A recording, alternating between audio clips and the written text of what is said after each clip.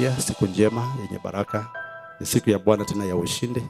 We thank God kwamba Bwana akiwa upande wetu hatuwezi kushindwa, na Bwana Mungu ametulinda kuanzia hata usiku wa jana, hali za maombezi hadi asubuhi ya leo. And for that I appreciate all of us, all our intercessors on all our walls. Uh, stay alert all the time and uh, may the Lord give you grace. Tuko katika wiki ya pili ya saumu. Our saumu yetu uh, ni ya wiki kumi, so we are actually in our second week. Naomba Mungu aope naema sana katika jina la Yesu. Then we are also continuing with the series of um, understanding seasons and times um, in God's calendar. So tunaendeleza mahubiri kuhusu majira na nyakati katika kalenda ya Mungu, uh, jinsi ya kuwa na ufahamu wake. So I pray that someone, Mungu akuwezeshe upate ufahamu huo katika jina la Yesu. Roho Mtakatifu akusaidie ukapata kushika ufahamu huo katika jina la Yesu. Haleluya. Hallelujah. I believe we are live for all our audiences. And may the audiences, every person, every soul, uh, uh, be disposition to hear this word. Jana tulishirikishwa neno, tuliona sehemu ya tano, the place of, uh, the place of uh, voice and the effect of voices in quest to please God. Ningependekeza kwamba kila mtu utafute ujumbe wa jana pia ukasikiza hata mara mbili. You hear, you listen the word of God uh, iliyohubiriwa jana na ili uone uh, unapata uh, utapata undani uh, wa mahubiri haya. Na leo hii naendeleza sehemu nyingine tena ambayo ni awamu ya sita ambayo pia ni sehemu ya pili ya mahubiri ya jana, lakini ni awamu ya sita na awamu ya sita Kiingereza tunaisoma kama deliverance from voices in quest to becoming a voice. Deliverance from voices, ukombozi kutokamana na sauti zinginezo katika azma ya wewe Mkristo uh, kufanyika sauti. Haleluya, Bwana asifiwe.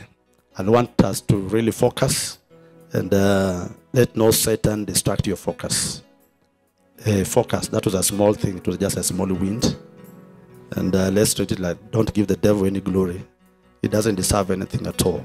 So let's focus on Jesus. So deliverance from voices in quest to becoming a voice.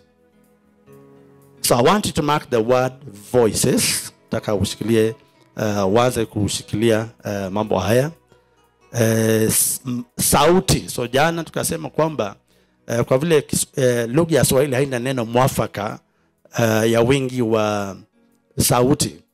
Kiswahili sauti ni sauti, ziwe sauti nyingi ni sauti. Kiingereza e, sauti kama ni e, kwa, kwa, kwa umoja ni sauti. Uh, so if it is in English voice actually is singular but if there are voices then I mean this plural to connote many voices. But Swahili doesn't have that one. So Swahili sauti ni sauti, iwe moja ama nyingi, the word is sauti. Lakini nikasema kwamba tu, tu, tujipatie tuipatie neno tuipatie kamsamiati kadogo, tuseme ni masauti. Najua kwamba Mtanzania um, ama, ama mwenye ufasaha wa lugha akinisikiza atanikosoa, but uh, we want to drive the message home. Hallelujah. So we may not be really after, uh, after the fluency and uh, and the correctness of the language as long as we communicate the word. Someone, hallelujah. So there is the place of voices and also there is a place of the voice. So kuna mfanyiko wa masauti kisha tuna mfanyiko wa sauti. When we talk about the voice katika mahubiri tukifuata jana, basi tuna Mungu ndiye sauti, sauti iliyo. So we find that God is the voice. Someone, hallelujah. Then uh, there are other voices. Tunazo tuma sauti sauti. Uto tu sauti sauti sio tu sauti twa Mungu, na tu sauti uto tu sauti sauti zimechangia wewe kutofanyika kila ambacho Mungu angetaka ufanyike. Na leo nataka tuangalie mfanyiko wa deliverance. Hallelujah. Please give me your eyes. Deliverance. Hallelujah. deliverance ukombozi so kama ume, ume maisha yako hujafanyika kile ambacho mungu angetaka ama umempoteza umepoteza laini ya kusikiza kwa bwana ama umepoteza mwelekeo wako kutembea na mungu basi maana yake ni kwamba kunazo tuma sauti ambazo zilikushawishi ukapotea uka, uka barabara ukashawishika na sauti zinginezo ukawachana na sauti iliyo so there are other voices eh, that, that did what? That seduced you. They influenced you. These voices persuaded you. So you are persuaded to abandon the voice of god.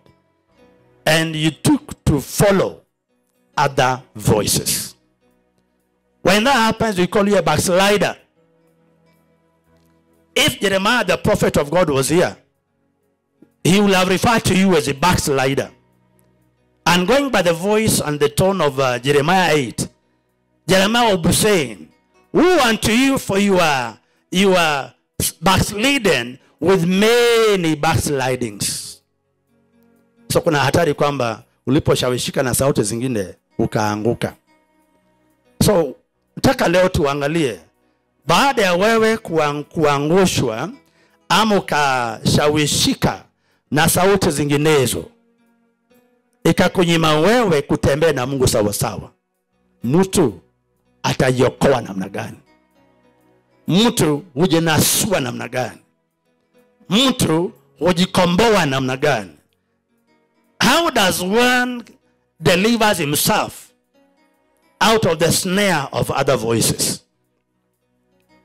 Hallelujah. So that make this broadcast today. Uh, this broadcast is has the price of the blood of Jesus. This broadcast has a cost. It is at a cost of money, but more than money is the price of Jesus, the blood of Jesus Christ. Hallelujah. And therefore, someone who hinders and uh, take time that will have used, you really get at loggerheads with the owner of the ministry. And that's why it might not really go well with some elements. Who time exactly the time when we want to have ministry. Then that's when they uh, they poke their nose. Kwa ingi mzuri, madhabahu haya na mahubiri haya imo na gharama ya damu ya Yesu Kristo.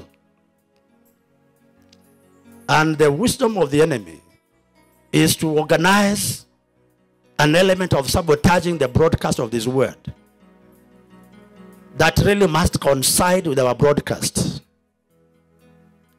The Lord shall pay. The Lord will avenge. Hallelujah. That one notwithstanding, the word comes. There are voices. So I want you to get this one.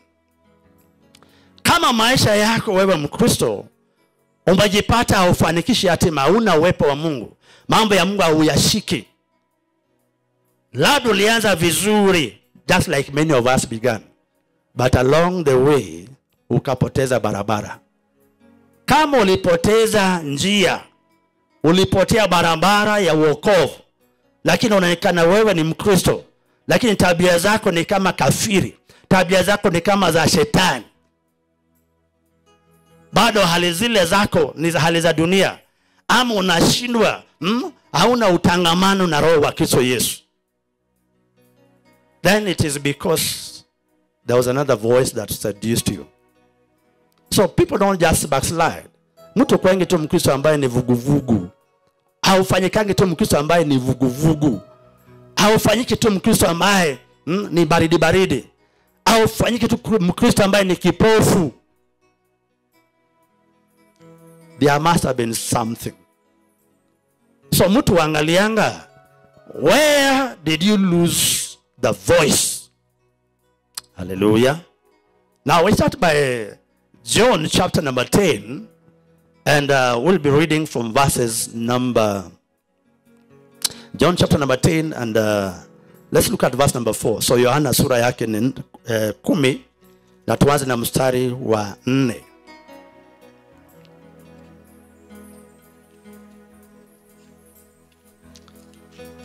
Na inasema hivi. Those of us who have it in english you can also hear me bring it also for you uh, in the swahili translation. So that's john 10 maybe we start with verse number 4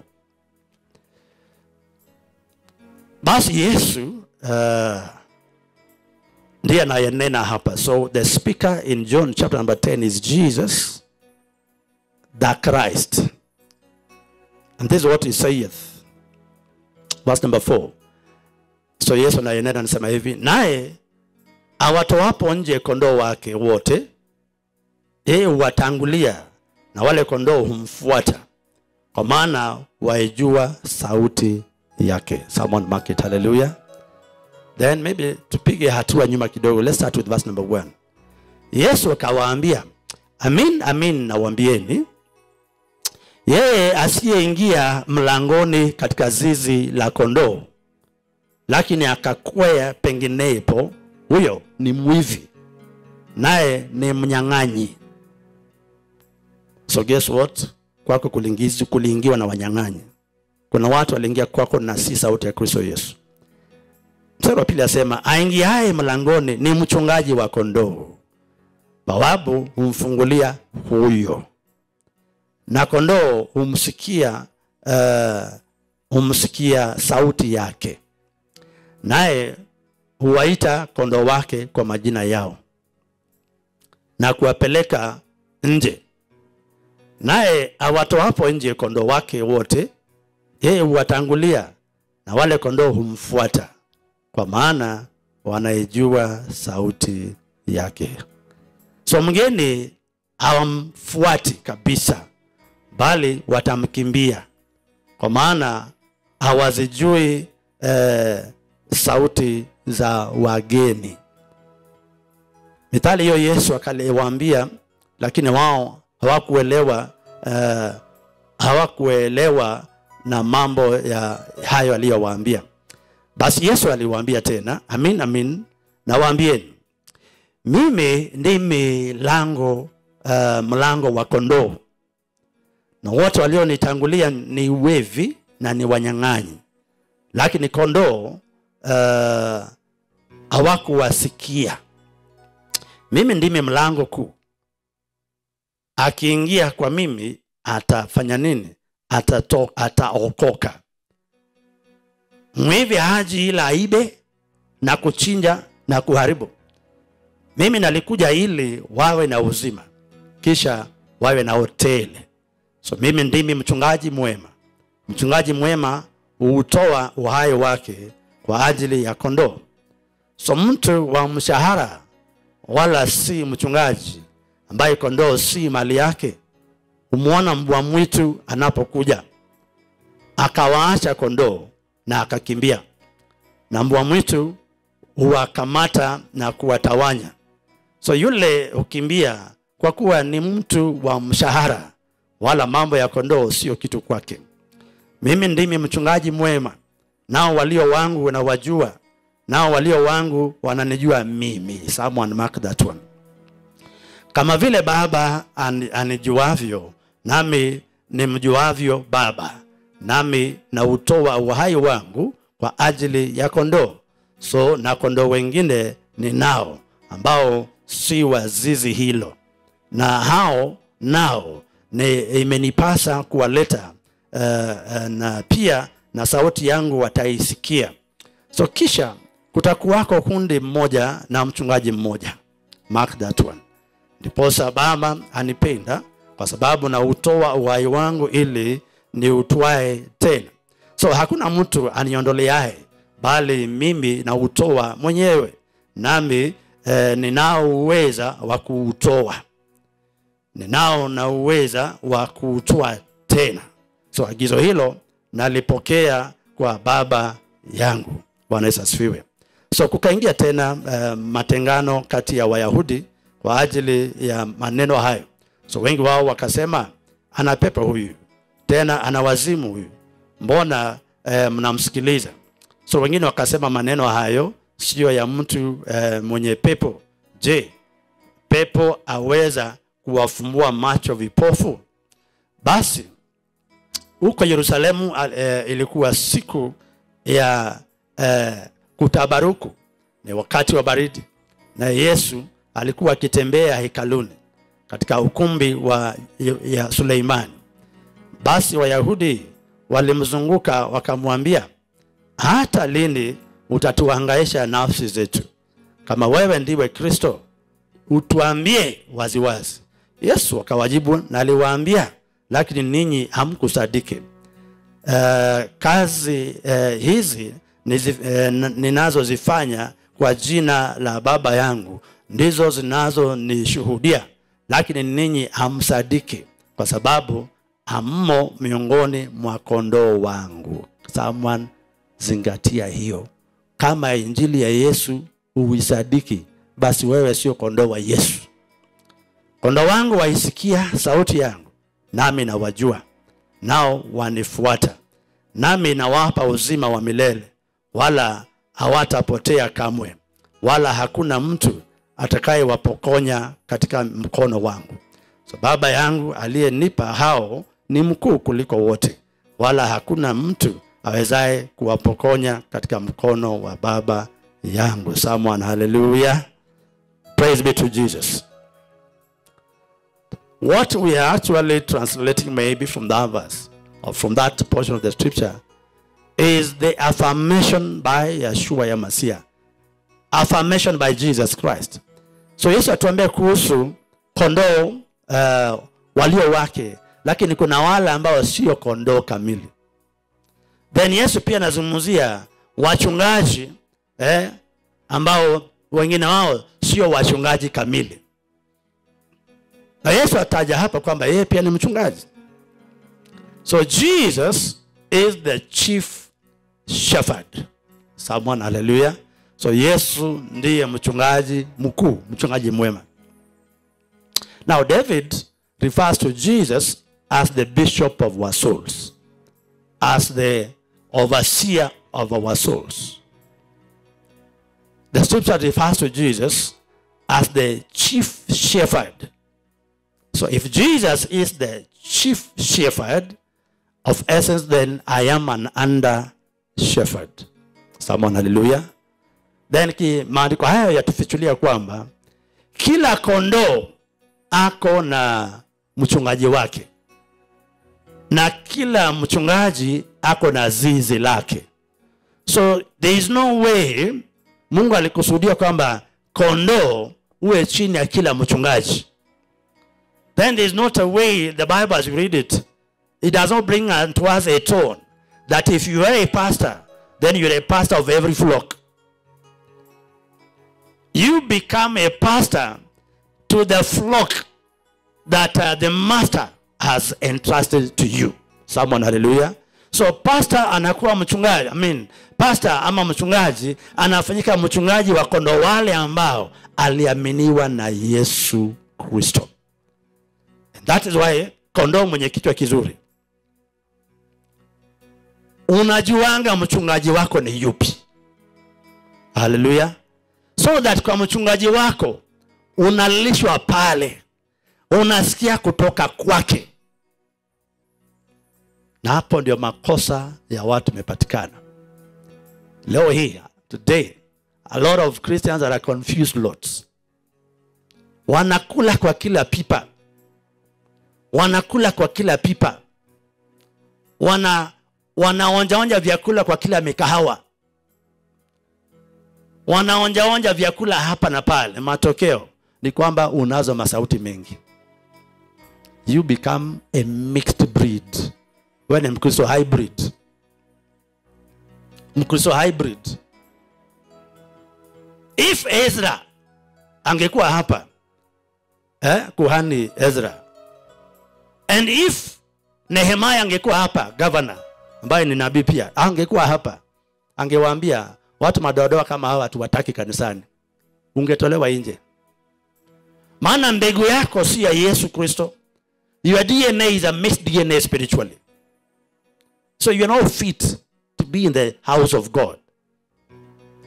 Hivyo wewe si kondoo, wewe ni kitu ingine umechanganyika. Kidogo wewe ni kondoo lakini pia una rangi zingine. Ma- maybe mbuzi maybe fisi maybe chui maybe nyoka. Yesu akawaita kizazi cha nyoka a generation of what? Vipers. Matokeo ni kwamba wakristo wengi hawajui manukato ya yesu hawajui mapenzi ya kristo yesu hawatambui yesu anataka nini maisha yao ni maisha ya kufanya nini? Maisha ya kubahatisha bahatisha. Hatima zao wanabahatisha ndoa wanabahatisha kazi wanabahatisha eh, hata makanisa unabahatisha atakuwa na wachungaji. You are living uh, a life of troubleshooting. Now in your troubleshooting ulijipata kwenye madhabahu za hao manabii wa kora kama kina ezekiel na makenzi bado mnakumbuka kamutu kanaitwanga ezekiel? Do you still remember ezekiel? Kama ujui jina yake ingine ni odero. Ambao wachungaji wajinga wameenda kwake kutafuta power. I know what ukiwa na mchungaji mwenye kichwa yake ni maji please tarajia pia wewe kuwa kichwa maji. Ukiwa na wachungaji ambao wanatafuta vitu kwa makenzi basi utakuwa kama wao na kuna mapasta ambao kichwa vichwa vyao eh, ni malenge. Imejaa tu imejaa tu maji. Guess what? Mchungaji ambaye anaenda kuwa kuwa watu kama kwa Ezekiel kutafuta power. Anaenda kwa Kakande. Wanaenda kwa Rolinga. Wanaenda kwa Manyuru. Wanaenda kwa James Ng'ang'a.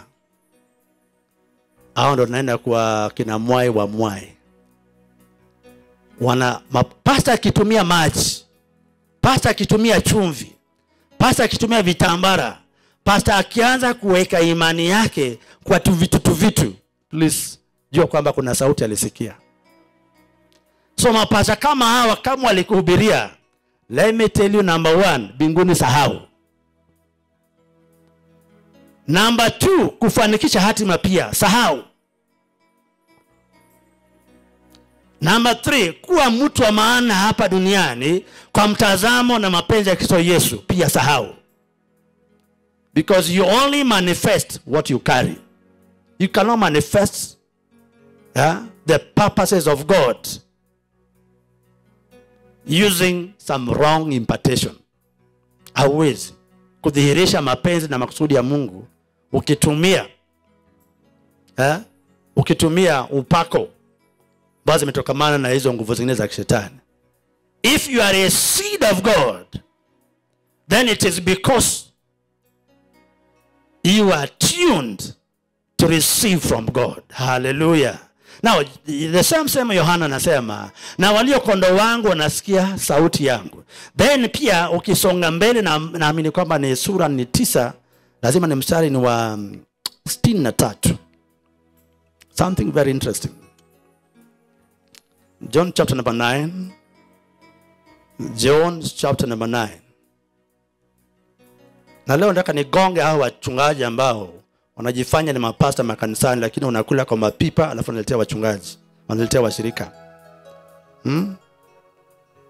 Some people are looking for covers, ati cover cover ya mapasta ya mabishop wengine. Before you look for a cover ya bishop fulani, si uangalia anasimama namna gani? Hmm? Amesimama namna gani? Before ujipate katika hali ya uh, ya ku, kuamini yeye. Now john chapter number number 8 and verses number 40 47 tuanze na hiyo 47 yohana 8 su- um, mstari wa 47 he that is of god heareth god's words. Yeye aliye wa mungu uyasikiza maneno yake mungu He therefore hear them not because you are not of God. Lakini nyinyi hamuya, uh, kwa sababu nyinyi sio wake Mungu. Na hapo mwinjilisti at least ujitie moyo. Unaweza hubiria watu ambao wakikataa kuchukua neno naambia yenyewe maandiko imetimika. Kuna watu kuhubiria wachukui neno. Hawasikii maana hawa ni mbegu ingine. Basi mtu mwinjilisti ambao ulifanya uinjilisti mahali watu wakakataa kuokoka please jitie moyo sana ulihubiri anyway. But the thing is hawa hawakuwa mbegu ya mungu so they will not hear god's words. Hey someone hallelujah. Haleluya maana walio wake yesu peke yao ndio wanayesikia sauti yake yesu. Bwana asifiwe. So them that are of god they hear god's voice. Now the same um, also is in verse number 43 yohana 8 hiyo mstari wa 43 why do you not understand my speech? So hapo yesu anamwambia mbona amwelewi lugha yangu? Mbona sauti yangu amuishiki mbona sauti yangu ni, ni sauti geni kwenyu? Why is my voice strange to you? Huh? what is it that you don't understand? Then yesu akamwambia even i mean uh, uh, even because you cannot hear my word. Kwambia basi ni kwa sababu pia amwezi kusikia neno yangu. So kama lugha yake lugha ya mahubiri ni magumu if the speech be complicated if you find the speech of a preacher is hard then chances are roho zenyu hazipatani. Inapaswa kwamba mchungaji wako roho yako na yeye zinashikana. Haleluya roho yako na yeye inafanywa nini zinashikana. So the reason why sisi tunahubiri why do we preach? In our preaching we are trying to court you. Kama wewe ni wa mungu utafanywa basi kusha, kuweza kushawishika na, na sisi. Maana roho yule anayefanya kunitawala ndiye roho ambaye anakushikanisha na mimi. So we are united by the spirit of god the spirit of christ. Haleluya anatushikanisha so yesu maandiko yasema katika uh, yohana 17 kwamba kondo wale ambao yesu walikuwa na wao the sheep that jesus had the disciples that uh, jesus had jesus did not really go out into searching for them. Nathaniel for example was actually uh, revealed unto jesus that he'll come uh, the likes of Peter and the sons of Zebedee, they actually attest, the, their testimony is, you find the one that says the other, we have found him, who? The Messiah. So they found Jesus. But that finding is because they had the Spirit of God that led them to Jesus. Hallelujah. If you be of God, you are led by the Spirit of God. Kama wewe ni wake Mungu unaongozwa na roho wake Mungu. Bwana Yesu asifiwe. Walio haki wanaongozwa na roho wa nani? Na roho wa Mungu. A righteous, the righteous, a righteous man. They that be righteous, they are led by the Spirit of who? Of Christ. Hallelujah. So Bible said that um, that uh, God orders the steps of a righteous man. So Mungu anaziongoza nyayo za mtu aliye haki. Na awatu mtu mkristo uangalie. Mbona wewe ni mkristo ambaye eh, kwako yesu ni kitu kigeni sana? You should not be so sure. You should not be really doubtful of christ jesus. Usiwe mkristo ambaye unashukushuku yani unabahatisha kujua yesu kama ni yesu si yesu. Mtu ujiwanga when siku ambazo nilianza pewa neema ya kupambanua mapasa wa kora ningesikia sauti sasa naambia huyu ah, ah. that was miaka ile 2000 and early 2000 ambia usisikilize huyu. Usisikilize huyu. So i was just warned maybe some few maybe once or twice thrice. Then from that moment nikawa na nikiangalia tu mhubiri hivi kwa posta najua huyu ana roho mungu. Because ndani yangu kuna kristo. Ananisaidia kusadiki nani ana roho yake nani ana roho wake. Samon haleluya sasa mkristo ambaye ulishawishika na kondoo na mchungaji mbaya. Maana umekula kula kwa pipa pipa ukahangaika hangaika what happens to you when that happens is that um, ile network yako ya kushikanga sauti ya mungu inakatika. Ile area yako your, your area spiritual area plus your receiver they get to be corrupted. And that's what satan will always want. Na shetani atakupeleka mali penye your system will even be more corrupted na mkristo once that one happens hiyo ikisha kukufanyikia utajipata wewe ni mkristo mpumbavu. Mkristo ambaye anaamini mapasta wote ni pasta wako. Please remove hiyo toa hiyo. Are not a pastor for everybody. Hallelujah. Yeah.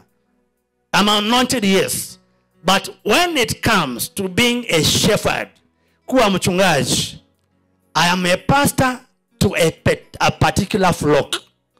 I am a pastor to a particular sheep. Mimi ni mchungaji wa kondoo teule sio kondoo wote. So I'm not a pastor for the entire nation. Haleluya hata yesu wako ametumwa kuwa mkombozi wa, wa, wa watu wote. Yeye ni mkombozi wale ambao watakubali kukombolewa.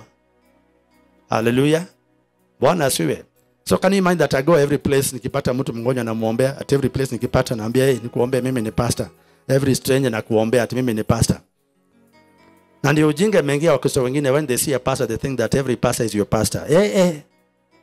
not every pastor is your pastor. Hallelujah. na please pastor pia kuwa soba sio kila kondoo ni kondoo wako. Na ukishika hiyo utajiepusha na kurogwa na mapasta wengine. Maana ni rahisi sana kurogeka. So kuna we have a great lot of uh, christians who are actually uh, a bewitched lot. They are corrupted. Walirogwa wakarogeka. You know what? When you don't have christ jesus sitting in you you easily get bewitched. Na kurogwa kwako narogwa mpaka na watu wa majini wanakuroga mtu mwislamu anakuroga na unarogeka tu. Hata mnyende kanisani anakoroga na unarogeka tu. Why? Because jesus is not lord in, of your life. So utasikia wapumbavu wakisema wa urogi itakushika kama tu ume, umeamini urogi. Hawa ni watu ambao vichwa vyao haviko sawa. Mtu ambaye hana kristo yesu ameiketi ndani yake akirogwa narogeka haleluya so wakati wa mkristo umehangaikanika kwa madhabahu zingine you move from one altar unaenda kwa kila mchungaji mchungaji mwingine anakuwekelea mikono mwingine anakuwekelea miguu hmm? uh, wangapo waliwekelewa miguu? Kuna wale waliwekelewa miguu. Kuna wale walitembelewa na miguu na ukwato. Kuna wale waliwekelewa mikono zote. Lakini kuna wale ambao pia ile neema ulipata ni kulaliwa ulilaliwa. Now if that happens to you matokeo ni kwamba you are what you are. So in the design of god katika mpangilio wake kristo yesu ni kila mchungaji yeye huaminiwa kondoo. Na anayefanya kazi hiyo ni jehova mungu wa mbinguni. Haleluya na yesu anakuokoa kuoko- kuo- ku- kuokoka kwako kuokolewa kwako ni kwa mfanyiko wa gharama ya damu yake yesu kristo. So what happens ni kwamba you are software yani rasilimali ilo umetiwa ndani yako inakusaidia kutambulika na yesu. Haleluya na roho wa kristo yesu. Lakini sasa hii imefanyika kwamba watu wengi walipoteza hiyo laini they lost it maana uliwekewa mikono na pasta mwingine ambaye you know so sure kama ni wa mungu. Ulirandaranda ukamangamanga ukaangukia mashimoni shimoni. You got yourself into interaction into some uh, uh, love affair with some funny funny spirits. Ukajipata katika uh, mapenzi na maroho zinginezo. Walikutongoza ukaingia box. Now we are told about um, testing every spirit. 1 john 4:1 kusijaribu kila roho na wakristo wengi hawajaribungu maroho as long as wanapata mtumishi ambaye anaonekana na mafuta kwa chupa na maji kwa chupa na jina yake na picha yake imetandikwa kwa hiyo stika awanaamini wewe ni mtu wa mungu. Please sitakuwa nimekosea kukuita kwamba you are dummy. Hizo makosa tuliyafanya. Lakini kwa ajili gani? Kwa ajili kwamba tulishindwa kufuata maandiko. Tulishindwa kupambanua kwa ajili hatukusoma maandiko.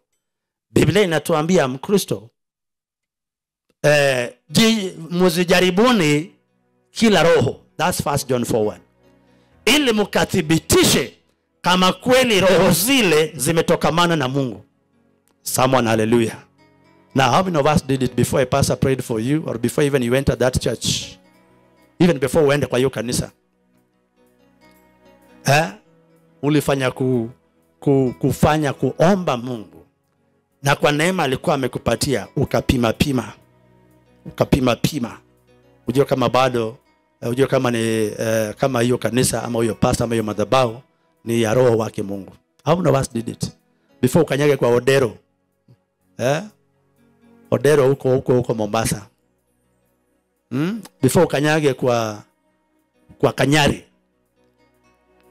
before ukanyage kwa manyuru. Kitambo mekanyaga kwa tibi joshua. Kitambo mabisha hodi kwa kakande uganda. Kitambo umeangukia awa tukina mwaniki. Ulifanya kupima na kupamba nua kwamba roho zile zinazotumika na wao ni roho wa mungu disqualify yourself. Majority of you never did it.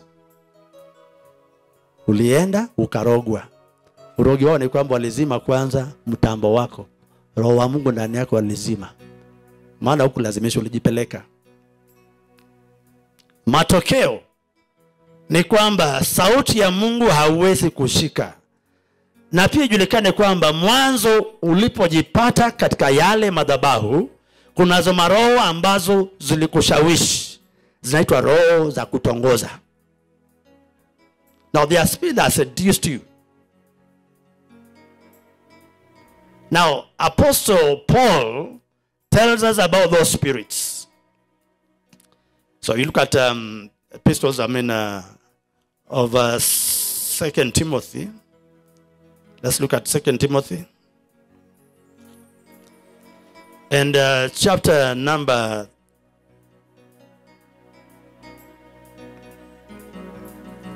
chapter number 4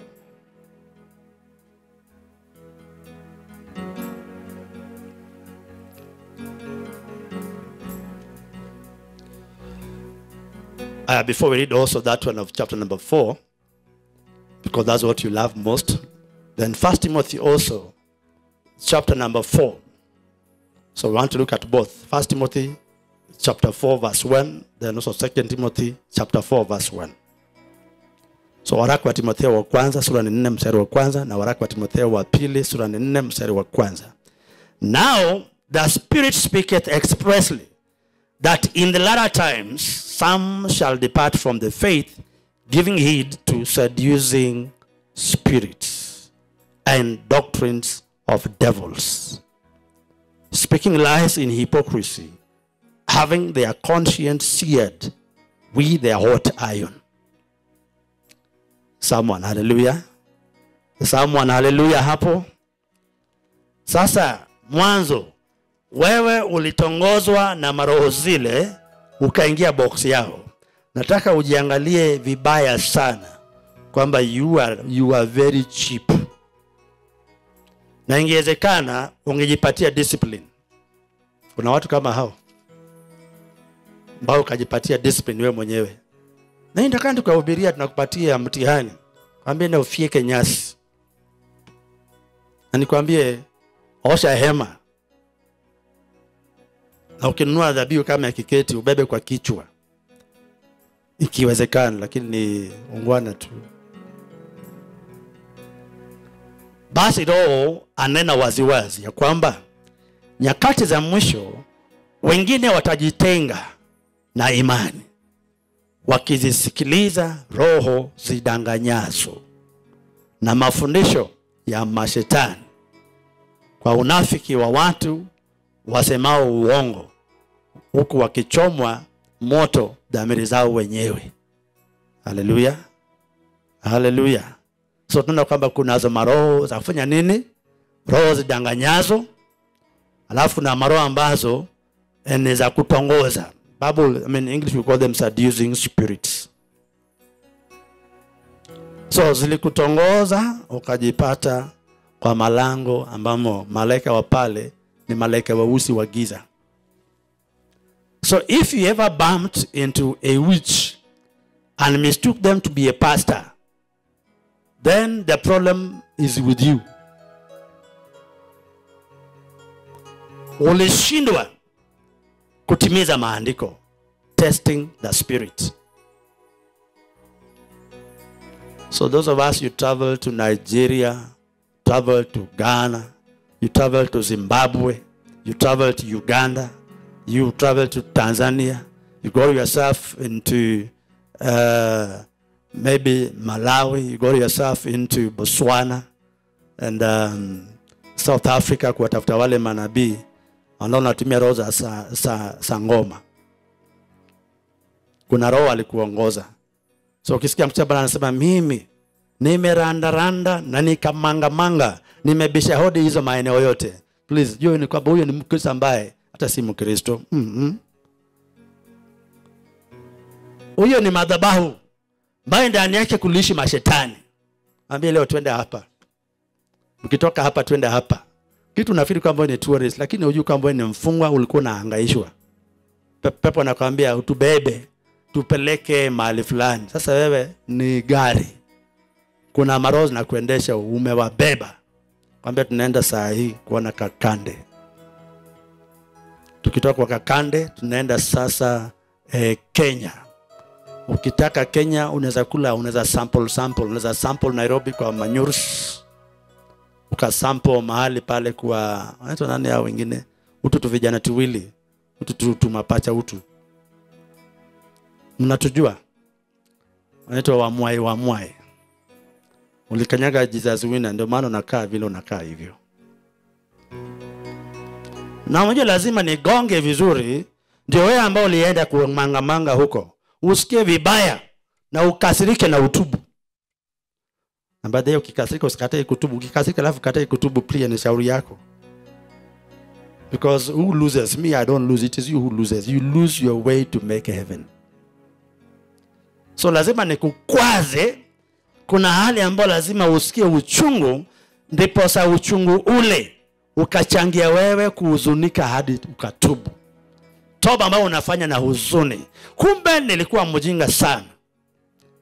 Nao huzuni hiyo ndiyo inakuleta katika hali kama ya sasa ya wewe kujitoa katika ushawishi wa sauti zile. Unajikatanisha na sauti zile potofu. So zile roho ambazo zilikushawishi zilikuwa na sauti. Ulikubaliana na sauti zao. Uli, ulishawishika na sauti zao. You are actually convinced with their voices so demons speak. Spirits speak. Maroho zinanena huwa zinatoa sauti. So kuna watu sauti zao ukasikia hey, inakuvutia sana ukaangukia. So iwapo umeshafika mahali penye unasikia kwamba hati mojafanikisha na ndio na suspect inaonekana kumbe ile barabara ilishika ni mbaya. Please ni mungu amekusaidia. So how do you deliver yourself? Kutokana na ushawishi wa sauti zile. Ndio makusudi na madhumuni ya mahubiri ya leo. Deliverance aspect. Hallelujah. Deliverance aspect. Now second timothy also chapter number 4 timotheo wa pili sura ni nne kuanzia mstari wa kwanza. I charge thee therefore before god and the lord jesus christ who shall judge the quick and the dead at his appearing and his kingdom. Preach the word. Be instant in season and out of season. Reprove rebuke exhort with all long suffering and doctrine. For the time will come when they, that they must have been you then, but I pray that it, it be not anymore. Hallelujah. For the time will come when they will not endure sound doctrine, but after their own lust shall they heap to themselves teachers having itching ears. And they shall turn away their ears from the truth and shall be turned unto fables. Hallelujah. Hallelujah. So maandiko hapo yatuambia eh, kuhusu Wakristo wenye masikio za utafiti. Haya kwa ufasaha wa lugha timotheo ni wa pili sura ni nne mstari wa kwanza na kuagiza mbele za mungu na mbele za kristo yesu atakaye wahukumu walio hai na waliokufa kwa kufunuliwa kwake na kwa ufalme wake. Lihubiri neno uwe tayari wakati kufaao na wakati usiokufaa. Huyo ni mimi naambiwa na huyo ni wewe mhubiri pia unaambiwa. Karipia kemea na kuonya kwa uvumilivu wote na mafundisho. So unasikia vile nawakaripia na kuwakemea? Maana utakuja nyakati uh, watakapo yakataa mafundisho yenye uzima ila kwa kuzifuata nia zao wenyewe watajipata wa, watajipatia waalimu makundi makundi kwa kuwa wana masikio ya utafiti nao watajiepusha eh, watajiepusha wasisikie eh, wasisikie yaliyo kweli na kuzigeukia hadithi za uongo. Bali wewe uwe na kiasi katika mambo yote. Vumilia mabaya fanya kazi ya mhubiri wa injili. Timiza huduma yako. Praise be to jesus. Praise be to jesus. So amerika tuambie kwamba ushakuwa na roho kama zile. Utakataa mafundisho ya kweli so which means mahubiri yale ambazo imekushawishi zimo na sauti ingine sauti hiyo ni maroho zingine. So ni sawasawa kusema kwamba kuna wahubiri ambao uliwasikia lakini uh, haukupambanua kama kweli na roho wa mungu. Matokeo ni kwamba uliharibika zaidi. Na kama kuna hali ulioharibika zaidi mwanzo ni laini yako ya kusikiza kiroho. Hiyo connection tunaitanga laini. Ilikatika. Na shetani akikuja lazima aikate. Sema wewe ni wa safaricom na mimi ni wa airtel. Socha tukate hiyo. Please safaricom na airtel si ama shetani but i'm just trying to give you examples. So wanakukata hiyo so that you, don't, you no longer receive from the other side so unabaki, unapewa line nyingine. So wakati wewe ni mkristo I mean, wewe ni wewe ni nafsi ambayo inasikizanga wahubiri changanya changanya. Kitu ambacho shetani atafanya lazima atamesha kwamba laini yako ameifanyishia uchafu. Laini yako ameichafua. Laini yako ameichanganya laini yako amekupotosha ameigeuza ukasikiza kutoka kwake. All of us know kwamba shetani satan does not have anything good. Yesu mwenyewe akatuambia na ndani yake shetani ibilisi amna chochote kilicho kizuri. He's the father of lies. Yeye ndiye baba wa madanganyo yote. Ndani yake hakuna uzima ndani yake hakuna uzuri ndani yake hakuna wema ndani yake hakuna chochote kilicho kizuri. There is nothing good in satan. So jesus labors belabors the point to let us know kwamba ibilisi huyo ni baba wa uongo na madanganyo yote. Ndani yake hamna chochote kilicho kizuri. Basi msimfuate. Lakini kuna, kuna watu ambao waliamua kumfuata hata sasa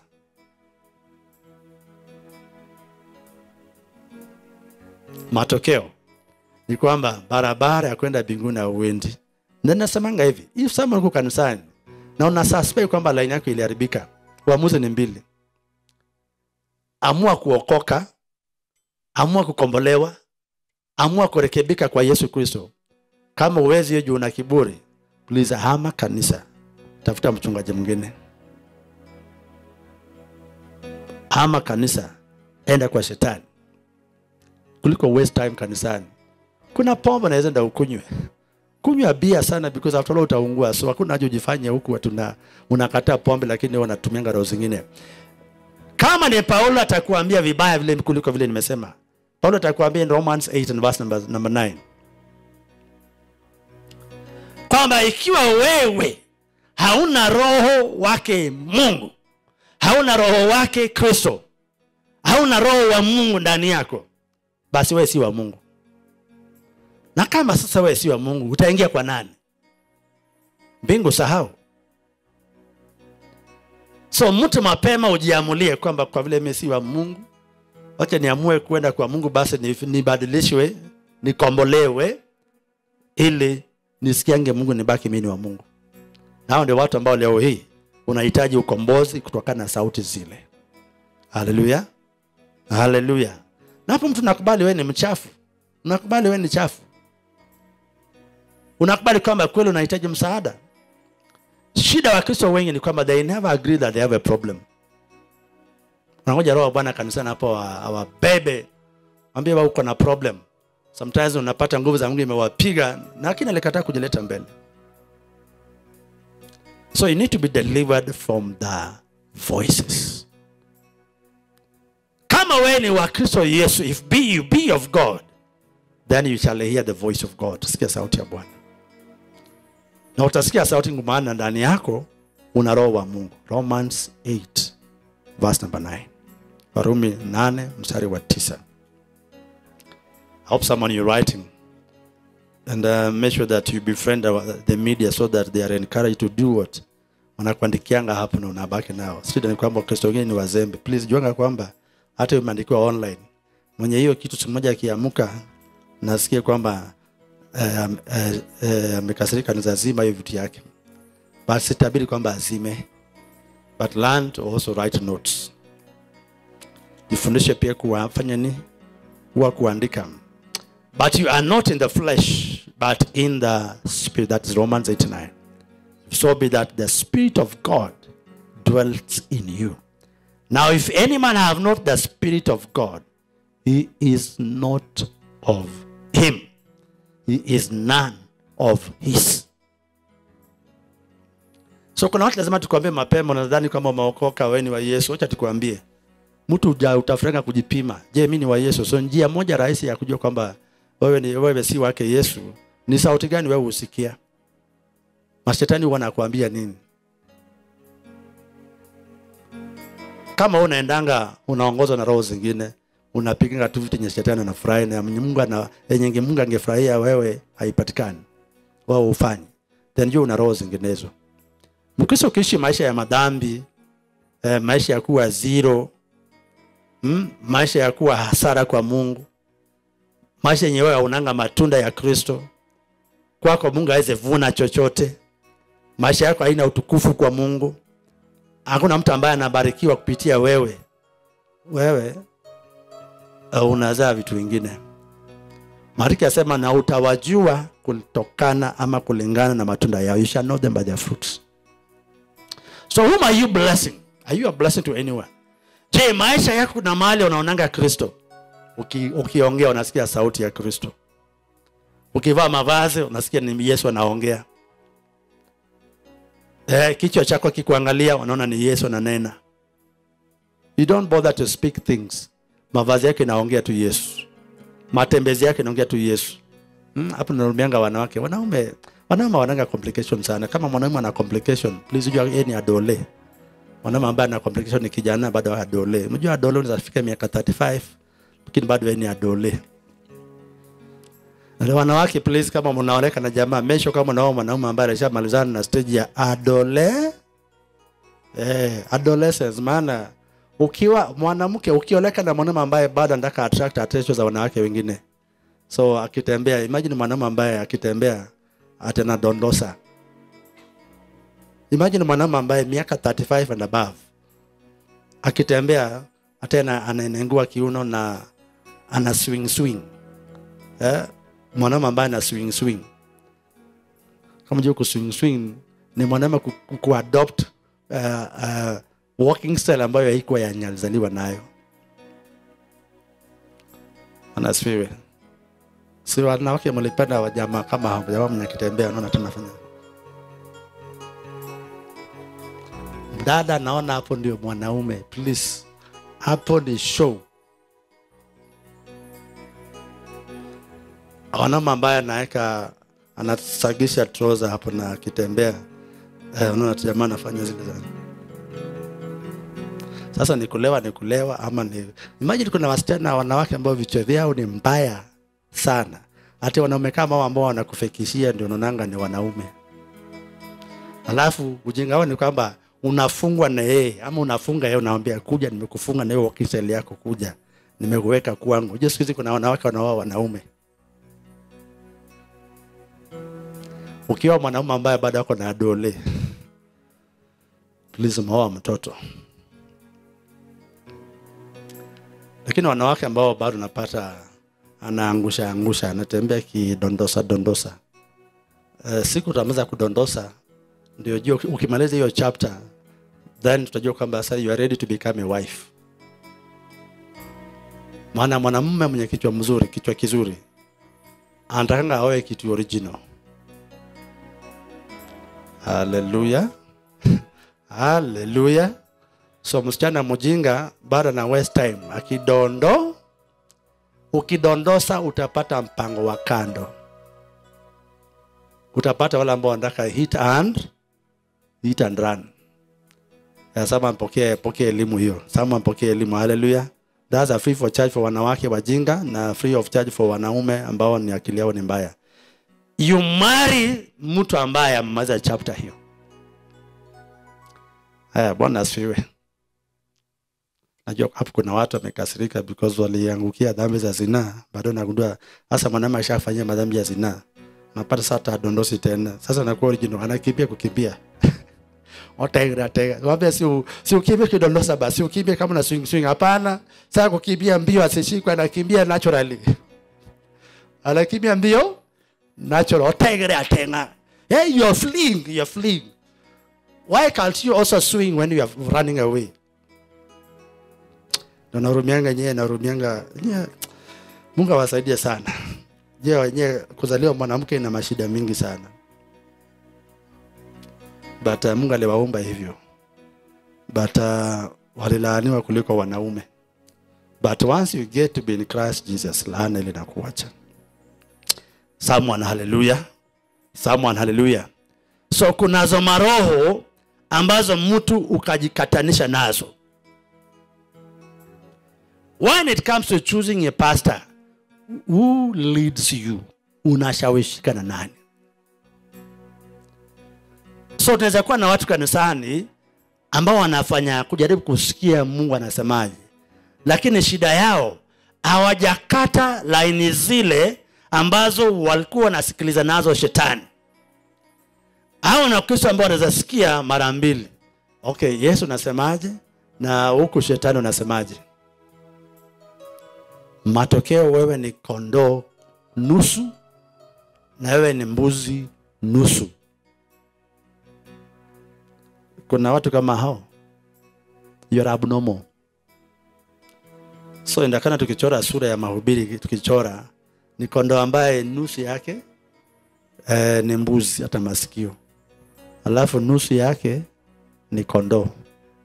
So ana manyoya upande mmoja huku ya ya kondoo lakini upande huu yeye ana, ana manyoya. Ngozi yake ni smooth. Hiyo ni ko kondoro. So i've come to a place having done a lot of uh, hali nimeshafanya uh, deliverances na nimefanya counselings. Nimegundua kwamba wakristo wengi wanakaa makanisani. Eh, lakini huwa wana laini zingine wana laini ile ingine. So that's unapata wakristo ambao kanisani wanasikiza mhubiri vizuri lakini pia kidogo wanaendanga ku wanapenda mikutano za manabii bandia. They want to hear other things. Katika hali hizo huwezi timiza hatima. You cannot fulfill destiny so laini hizo hukatwa. So that ubaki na laini moja. Haleluya visima vile mtu yaziba ubaki na kisima chenye maji masafi. Mitambo zile ulizopewa mtambo ambao unatambulika nao na ulimwengu ule wengine eh? you have a receiver. That, with that receiver you tune in to that other, other voices. You tune in kusikiza zile sauti zingine when if you choose to work with god and you adopt real fidelity which means faithfulness then you divorce from those other voices. Someone hallelujah. Now the word that i want you to look at is the word divorce. Na kuna nabii anaitwa jeremiah this prophet jeremiah is synonymous with this word this term divorce. Nabii yeremia anatumia neno hili. Mungu anamtumia kuambia wana wa israeli simkawaache mabwana hao wengine. Jiachisheni na hao mabwana wengine maana mimi mungu ndiye mume wenyu. Because i jehovah god i am your husband. Therefore i don't want you to be unfaithful. So what is god saying? God saying he doesn't want what? Infidelity. Now nabii yeremia anazungumzia mambo haya sana. He talks about infidelity. So the opposite of fidelity is that god wants fidelity mungu anataka uaminifu. Infidelity connotes unfaithfulness.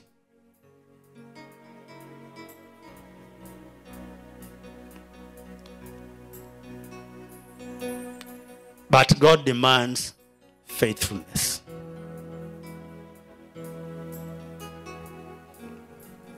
So mungu angetaka kwamba e, mtu mkristo uwe mwanamke mwaminifu. Mume wako ni nani mme wako eh, seme kwa mungu ukaaminika jinsi mwanamke unaaminika na mme wako mmoja. Haleluya bwana asifiwe. That means leo hii tuna wakristo ambao ni maka, ma, wakristo ambao tunawaita wakristo washerati. We have christians who are worse. wakati huo unamangamanga kwa kila madhabahu unamangamanga kila mafuta na kukujia leo ni tv joshua kesho ni kakande. Leo umeweka mafuta na huyu mwingine kesho umewekwa na mwingine. Wewe ni mkristo ambaye sura zako sio kamili. You are unfaithful. You are uh, an infidel. You are a war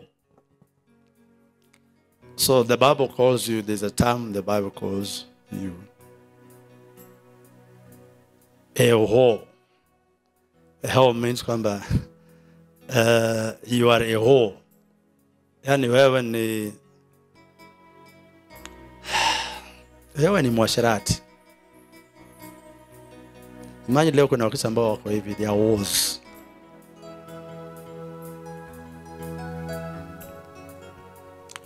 they are worse. ukiwa katika hali hii roho wa mungu hautasikia sauti ya mungu hautasikia na kutembea na mungu pia hautatembea na kusikiza neno na roho wa mungu pia hautapata matokeo ni kwamba maisha yako hautatimiza hatima so if you want to walk with god haitawezekana because kama utatembea na mungu lazima uwe mwan, uwe wewe ni mwanaume ama wewe ni mwanamke unaweza aminika. Safari ya wokovu ni kama ndoa. Safari ya wokovu ni kama ndoa. Amwezi enenda hadi pale mnakubaliana. So mwanamke ambaye anasikizanga sauti ya wanaume wengine kama ni mwanaume unaweza kaa naye kweli? Sasa imagine mwanamke ambaye ukiondoka baadaye jirani yako anakuja na mconvince. Je, kuna wanawake wako kwa ndoa alafu mwanamke anakuambia hey, hey, hey, na mama nani nakaa wewe ni mrembo ulipokuwa kabla hujaoleka na huyo jamaa inaonekana wewe ulikuwa mrembo sana. Alafu napata kama mwanamke kenyewe pia kanacheka shipishili. Alafu pia anajibu kwamba yenyewe nilikuanga hot. Mwanamke kama huyo please unfaithful. Inatakikana mwanamke kama ashaoleka uko kwa ndoa ingine, maongeo ya upuzi kama hizo, ambia mtu wewe, mimi ni, mimi ni mke wa mtu, nasikia peleka utoto mbali.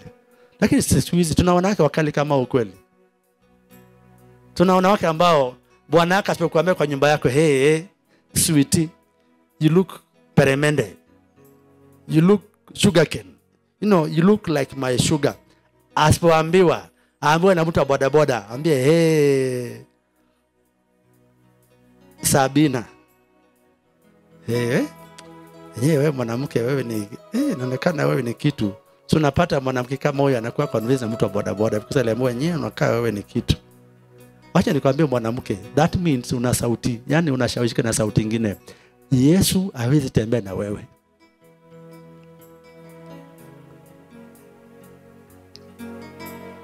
Haya haleluya. Sasa tunaanza kuongea. Sasa tunataka tuongee wakati wewe mwanaume ama wewe mwanamke unavaa mavazi ambazo eh, okay acha leo nitumie mfano za wanawake. Though you used to have one of the audience ambaye alikuwa na shida sana akasema wewe unakaa wewe unaonenga wanawake. You are a woman chauvinist please I'm married I have a wife. So I don't, I'm not a, I'm not a woman chauvinist. But hata Biblia the entire Jeremiah anaongelea wanawake Isaiah pia anaongelea picha ya wanawake. Hosea pia anaongelea sura picha ya wanawake. Please anonyanga mako chingindo na tigango Mungu nataka nitumie gari nitumie ng'ombe. Hata mimi natumia mfano kama hiyo hiyo. Eh, hey, someone haleluya sasa nimewambia nimewapatia ka kidokezo. Ndoa kamili. Sasa shika picha ya wokovu kamili. Yesu ni bwana lakini wewe ni bibi harusi. Na yesu anasema sitataka kumnyakua kukujia mwanamke ambaye nitampata ako na tu dosari. Dosari nataka nikikujia mke wangu bi harusi wangu maana tutafanya ndoa nimpate na magwanda masafi. Nafsi yake ni safi. Roho yake ni safi. In other words ni mtakatifu. Haya ngapo ameshika laini hiyo kama ushikangi hiyo place wewe ni, wewe ni, wewe ni mbegu ingine. So jesus is after what? Jesus is after a holy bride. So that means duniani hapo unajichunga sana. Haleluya so kama tu mwanaume hasa kujua kwamba wewe umeshachukuliwa if you're a woman you know you have been already taken umeshachukuliwa. Please walking style yako ya kudanganya wanaume iliisha halo halo bwana asifiwe. So wakristo ambao umeshajua yesu ni bwana wacha kutembea kana kwamba unaweza shawishika na sauti za yule yule mjamaa. Mjamaa anaitwa nani? Obelsibuth sasa you're not really marketing yourself. Already you've gotten jesus. So ukirushiwa mstari na yule mjamaa Boots akurushia mstari. kaambia hey, peter you look handsome oh. Nachukua sema kwamba Nigeria. Najua sasa ukiambia hivyo Wakenya nasikia wow. Ambia look good. Ambia you are macho. Mwanamke akiambia mwanamke mwanaume hivyo kwamba ni macho. Kuna wanaume ambao ukimwambia hivyo anasikia ai ya ya ya. Ni, ni, ni kitu nimeingia hii boxi. Wanaume ambao natongozwa na wanawake, mko area? Okay wakristo ambao mnatongozwa na shetani. Mko area? So today I'm using an analogy. Nikupatie. Mwanaume ambaye ulishawishika na mke wa wenyewe. Maandiko yakuita wewe ni mjinga wa ajabu. Bible calls you a fool. Ah okay. Go read proverbs chapter number 5 i mean read proverbs or psalms. Also uh, song of solomon Eh? Enda jitafutie.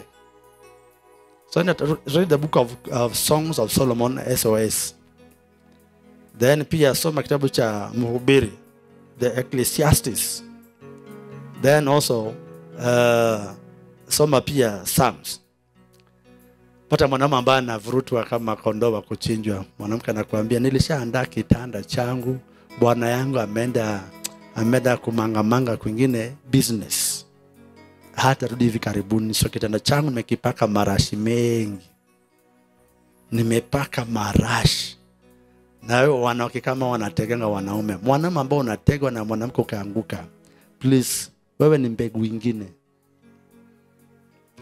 Wakusa ambao wanahanyahanya madhabao zingine please wewe ni kama huyo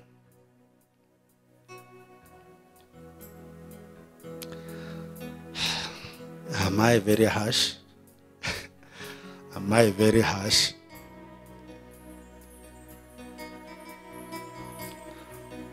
Ama nadhani mimi sijaitongozwa. Mimi nilirushwa na mimi nilirushwa kutoka binguni from the throne of grace, from the throne of, the, of God.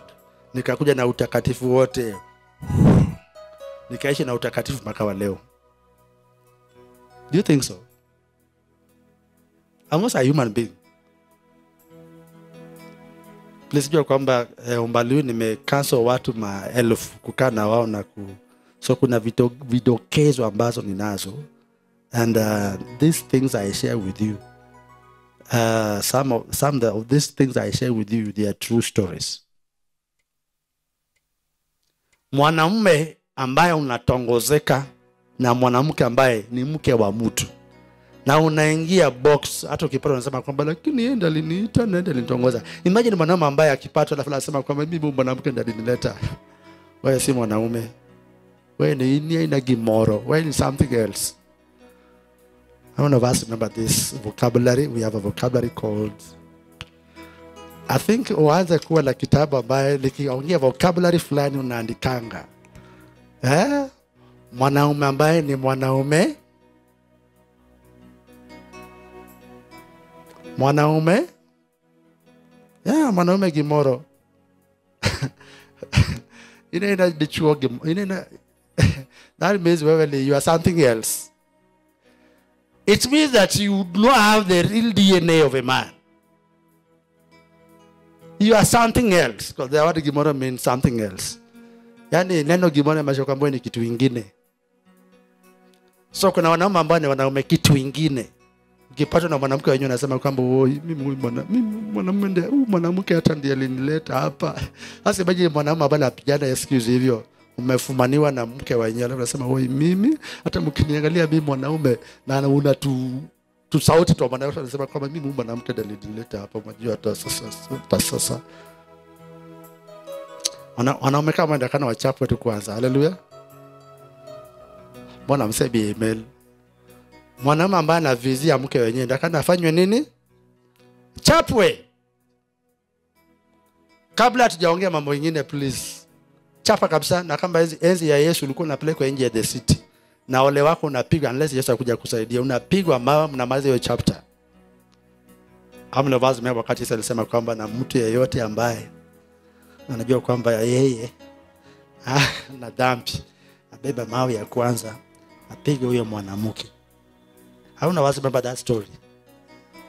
Huyo yesu alisaidia huyo mwanamke mmoja. Lakini hao pia ni watu wa walikuwa watu ambao akili yao ni mbaya. Mwanamke aliposhikwa walisema anafanya uasherati. Sijiulize mwanaume ambaye alifanya ni uasherati alikuwa wapi? Ama mwanamke alikuwa anafanya uasherati peke yake? Hata ndio wala yesu aliwaambia nyinyi wote beba mawe tukuone. Kama wangeleta huyo mwanamke na mwanaume ambaye alifumaniwa na walifumaniwa pamoja maybe yesu angesema that statement. Sabasema asema na mwana yeyote ambaye hajaipatikana na madhambi maybe sawia na hiyo. Basi awe wa kwanza wa kuandika maandiko. kimaliza kuchorachora hapa vile the temple of jerusalem inapatikana inafanana. Nikima, kabla nikimaliza i hope kwamba mtakuwa umeshaamua so yesu alikuwa anachora vile kanisa inafanana. Eh, wanaume hawa ambao ni washerati waliondoka one by one. One by one. Na mao walikuja nazo. Maybe some of them were loose. Hizo mao waliwacha hapo wakwenda nazo. Kiziangusha wakienda. Jorujirego unka jokondele wanaume wa kutoka ng'ambo hiyo. Think siku yesu aliwapata siku ile. Walikuwa tayari kuonyesha huyo dada vile wanaweza piga mtu. Kina wanaume vichwa vyao ni mbaya nawanda yesu aliwaambia nyinyi. Maana hawakuleta mwanaume ambaye alifanya kuzini na huyu mwanamke. Maana mtu aziningi peke yake. Hizo enzi kulikuwa na pornography sasa mwanaume ukipatikana na mke wenyewe please ukichapwa sisi pastor tunauza alibaki kama ako hai ama? Tukiambia kwamba ulichapwa atauza kama bado uko hai. Maana tunatarajia kwamba ukipatikana uchapwe na ukikufa pia ni sulu sulu. Lakini ukibaki hai ukuja unione. One thing I might tell you ni kwamba next time usirudie ujinga kama hiyo. Next time usirudie lili hatuna maombi ya free free maombi ya kupeana rafu wafati baba mungu. Huyu mwanamama alichapwa akifua alipigwa. Mungu atauza alipigwa wapi? Akilipigwa akinyemelea na akapatikana na mke wenyewe. Mungu naomba umpe neema. Naomba tu mungu umpe neema. Ah. maombi kama hiyo hatuna. Ukishachapa nakwambia umekubali kwamba kuiba mke wenyewe ni dhambi na kwanza leo umeamua kwamba utamfuata yesu uwe mwaminifu kwa mke mmoja. Na kama una ukaa hivyo lazima nikusomee kidogo alafu ndio nikulead into christ. Nachunga nikikuombea naweza kuombea maombi kwamba baba mungu na asante maana umempea amepata discipline. Na next time afanya kitu kama hii mungu sasa discipline yako sasa ikuje peke yake. Namwombea mungu awe na akili. Chunga nisikuombea maombi kama hiyo haleluya bwana asifiwe. Now the word divorce ni kwamba zile maroho ambazo sauti zao zinakushawishi lazima ujikatanishe nazo. Ndio utembee na yesu. Na kama wewe ni mkristo ambaye kweli unaotea kufika mbinguni ama unawazia kufika mbinguni ama unatumainia ufike mbinguni. Then make sure kwamba wewe ni mwaminifu na bwana mmoja. Na bwana huyu ni yesu kristo. Bwana asifiwe. So leo hii wakristo wengi hawatembei na uwepo wa bwana. Wakristo wengi wanafanyika watu ambao hatima yao ni hatima ya kubangaiza. You are just like trial and error. Yeah? Japo tuliambiwa kwamba maisha ya wokovu ina mateso na ina changamoto lakini makisho kwamba tuna ushindi kupitia kristo yesu. We are already victors. So the grace for victory is in christ jesus. Salvation hallelujah is victory. So kunazo changamoto ambazo tutakuwa nazo lakini haikukusudiwa kwamba sisi walokole wa yesu tulemewa na maisha Others who will want to get saved? Who will want to get saved? Kama kuokoka ni kwamba mtu ulemewa na maisha unatembea kama mwenye wewe unaishi maisha ya okoa jahazi kila wakati. Who, who will want to get saved? So maandiko yasema kwa yesu kristo tumefanywa washindi. Na tuishi maisha ya ushindi hadi dakika za mwisho tukarithi ufalme wake mungu. Haleluya ufalme wa mbingu so ni maisha ya ushindi kuna mambo tunayashinda kila wakati. Tunashinda majaribio ya kushawishika na sauti zinginezo. It is expected kwamba you be faithful and be reliable and be dependable. Haleluya kwamba sauti moja pekee ndio sauti ambayo unakubalika nayo. Lakini kuna wakristo ambao wanasikia sauti zingine wanawambia wewe me I'm so confused now. I don't know whether the voice are ni Yesu ama voice nilikuwa nasikia si ya Yesu. Well I experience watu kama wananiambia wewe mimi nasikia tu nimechanganyikiwa. Nasikia sauti nyingine nasema nyingine nasema hii. That means wewe bado una uko na ma stations zingine una receiver ya shetani. Hizo maroho ulikataa kutengana nazo nazo so zinamkanga siku moja wanaanza kuongelesha. Juchinde gochiri chira chira. Yani maroho zile zimefufuka ndani yako. You have some spirit that comes alive that resurrect in you again. So that means that you know disconnect yourself from uh, those voices. How many of us this far? Yesu ni bwana wako lakini bado uko na maconnection na line zingine ambazo na za ng'ambo hiyo ingine.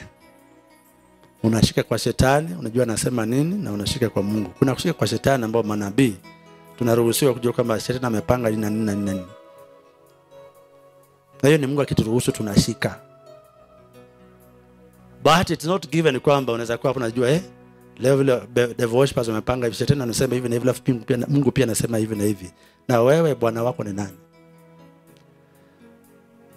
Haya maisha hii ya ukristo ama maisha haya ya, ya kanisa tuna watu ambao wanafananishwa na wanawake katika ndoa ambao bado japo wameoleka wanamume lakini waliowachumbia zamani zile bado na namba zao za simu.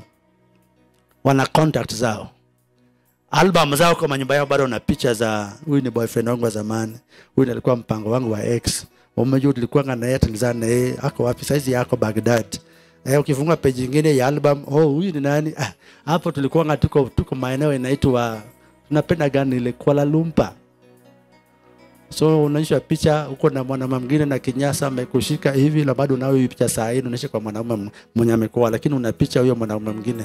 So wanawake waweza kuja kukutembelea kwanza wanawake wa chama Nyoluoro Muganda. Wanapata album yako na wawekea kwa meza wanakwambia hey bane. Wanakuona umekwaka kwaka ikwaka kwaka you have had someone eh, katika miondoko za ya kitambo. Wanakwambia na hii wanaangalia picha kwa ukuta unaona kuna kabuda kengine ndio bwana yako lakini una kachipukizi kengine ambao naambia hizo ilikuwa enzi zao. Now imagine ukristo imagine yesu umeokoka alafu ati yesu ni bwana wako alafu wewe pia yesu bado uko na yani kwa yesu huko lakini bado una, una hizo hizo ma contacts za wale maroho zingine. How do you expect jesus to feel? Unatarajia mungu asikiaje haki kuna vitu hautapata. There are things in god. Wewe hakika wewe si mwanamke. Mwanamke mwaminifu. You're not a faithful wife. Kama binguni hautaingia mbona ufikiria kwamba duniani hapa yesu atakuwezesha ufanikiwe? If you live that kind of christianity. Kama mbingu zenyewe hautaingia maana wewe sio mwaminifu na, na maisha yako ya ukovu what should make you think kwamba kwa maisha haya hata saa hii yesu huyu atakupatia rasilimali ufanikishe ndozo maisha katika hali ambamo wewe uaminiki bado. Uko na yesu lakini in case shetani ame unasikia uh, yesu akizubaa kidogo unakimbia kwa shetani. Yesu akichelewa kuleta mkate kidogo na rent unaambia boyfi hmm. unapiga mpaka boyfi anashuka he mrembo. Ambia mrembo unasema ambia eh alafu naongea lugha za wapenda nao. Ambie we sinidhani umeoleka. Mbona unapiga simu? Ambie kila nimepiga hivi please ni kuokoa jahazi. Au jahazi gani? Siko na bwana. Na mimi sitaki problem. Ambia ah wacha maizo. Niko na hali uniokolee. Huyu jamaa saizi amesota. Nataka tu nisaidie tu mara moja tu. Just once. Na huyu ya ex anakusikia anasema na sasa wewe ikijulikana vona nipiga simu ambia hapana huyu mwanaume ni dongo yeye hajuangi hizo vitu. Huyu ni mwanamke anaangalia bwana yake anaita bwana yake dong dongo dongo. Yani wewe ni mpumbavu. Please husbands make sure that your wife is faithful. Okay hatunanga pimometi ya kujua lakini ukiwa na roho wa bwana unajuanga mwanamke mwaminifu. Hapa kanisani naangalia tu wanawake najua huyu ni mwaminifu lakini huyu si mwaminifu. Hawa wanawake siniwae dili na wao eh, ama siwafanyingi counseling. Hey, bwana yesu asifiwe. Bwana yesu asifiwe. Please mbinguni hautaingia kama wewe ni mkristo mwenye laini zaidi ya moja. Bwana ni mmoja yesu kristo. Haleluya imani ni moja. Haleluya na roho ni mmoja. Kama una injili ingine please sahau mbinguni hata uliza uliza paulo akuambia kwa waefeso sura ni nne.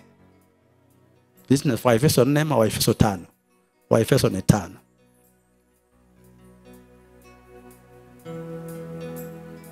Wagalatia pia inatuambia mambo haya. So katika waefeso tano yesu azungumzia maandiko. Paulo anatuambia mambo na ndoa ambayo anafananisha na wokovu.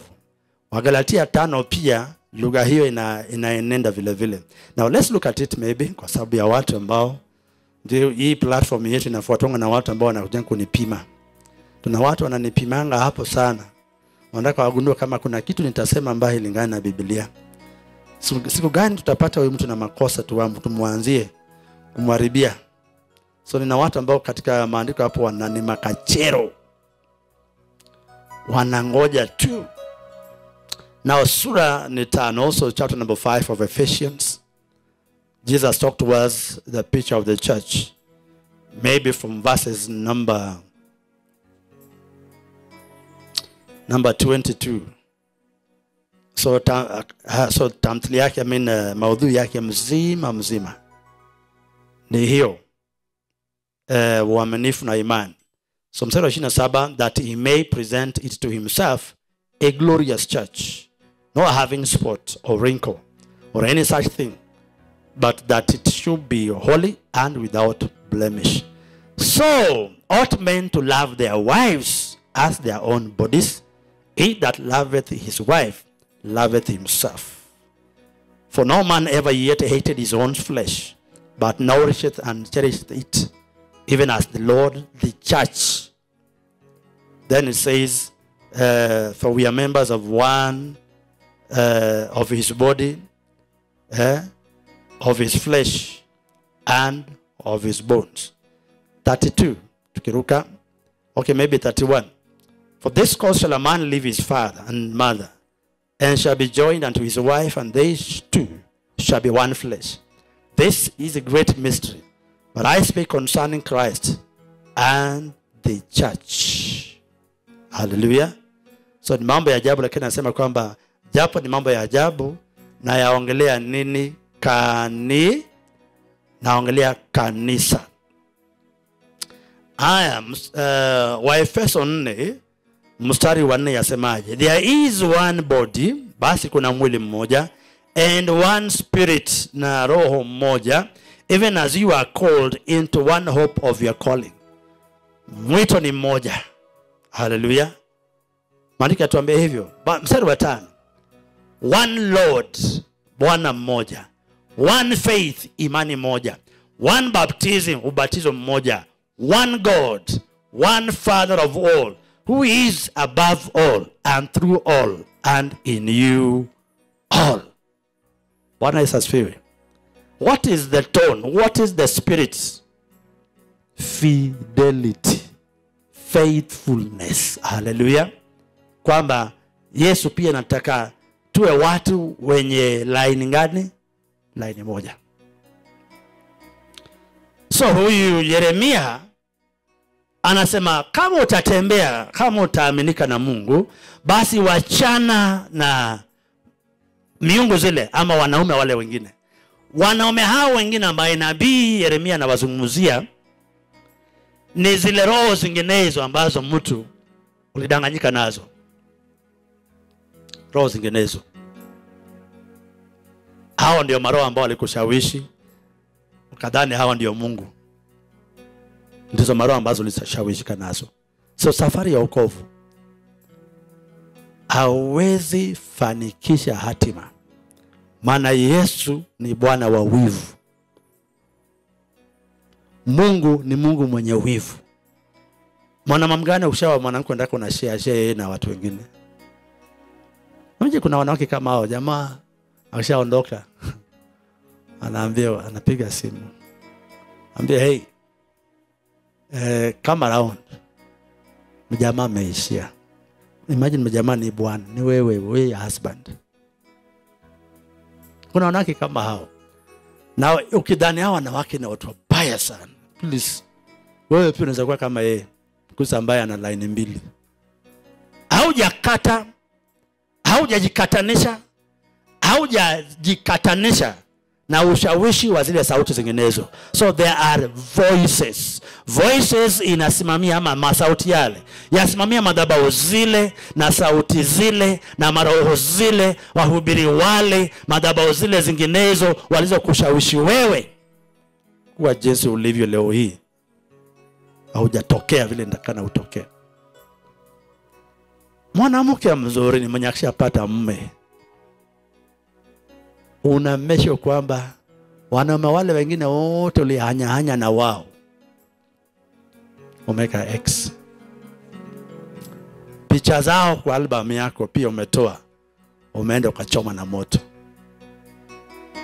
Vitu zile walikununulia kama ni kitanda kama ni blanketi kama ni chupi kama ni sindilia kama ni tuviatu na pisi za nywele alikunulia. please wakisha moto nje. Choma choma hiyo vitu yote. But how many wives are in a marriage? Na kitanda yenye bado nayo ni kitanda ya boyfriend? Nenda kana mwanaume kama umeenda kwa ndoa. Mara mingi nakana ndio nonanga ndoa zetu. Msichana ukitolewa kwenyu wanakusindikiza na kitanda uende. Kwambie wewe ende ukae na huyo mwanaume. Haleluya bwana asifiwe. Na yesu pia katika safari hii ya wokovu ni mapenzi yake na hajaficha. Kwamba kama huna roho yake basi mbinguni pia huwezi ingia. Na paulo ameisema kinaganaga waziwazi hajaificha na hajaiongea kwa misamiati wala hajaiongea na mambo za ajabu. It's not a mystery. He says unless you have the spirit of god you shall not make the kingdom that's romans 8 9 that if anyone does not have the spirit of christ or spirit of god he is none of his. So if you are not if you be none of his then forget about making heaven. Hallelujah. Forget about making heaven. Ndio leo hii kuna watu ambao wanang'ang'ana baba mungu hujajibu maombi yangu. Yaani maombi yako mungu ajibu kwa nini? The, the best god can give you maybe is mercy akupe vitu ya kwa rehema. Lakini vitu kutokana na haki na utakatifu. Hapana. So leo napata wakristo ambao wanaweza ota ndoto zingine. Yani kuna ndoto na ufunuo mbaya mbaya. Unagonga mwamba ukitembea katika uokovu eh? unaenda ukianguka na ukisimama unarudi nyuma mara mingi una backslide tena unaamuka if you are a christian who backslides over and over and over every time wewe una backslide altar call every time una backslide altar call every time una backslide wewe una sauti zingine wewe unasikika na sauti zingine wewe uko na some funny funny connections bado uko na hizo masauti May the Lord deliver you in the name of Jesus. Hallelujah. The Lord deliver you in the name of. Look at um, Isaiah 13 mstari ni wa pili. Isaya sura ni 13. Isaiah sura yake ni 13. Mstari wa pili yasemaje?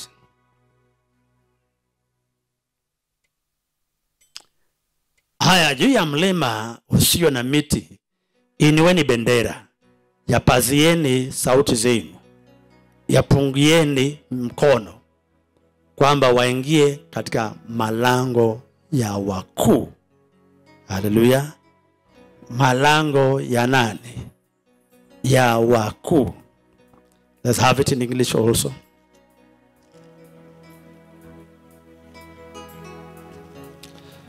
Now Isaiah 13 verse number 2.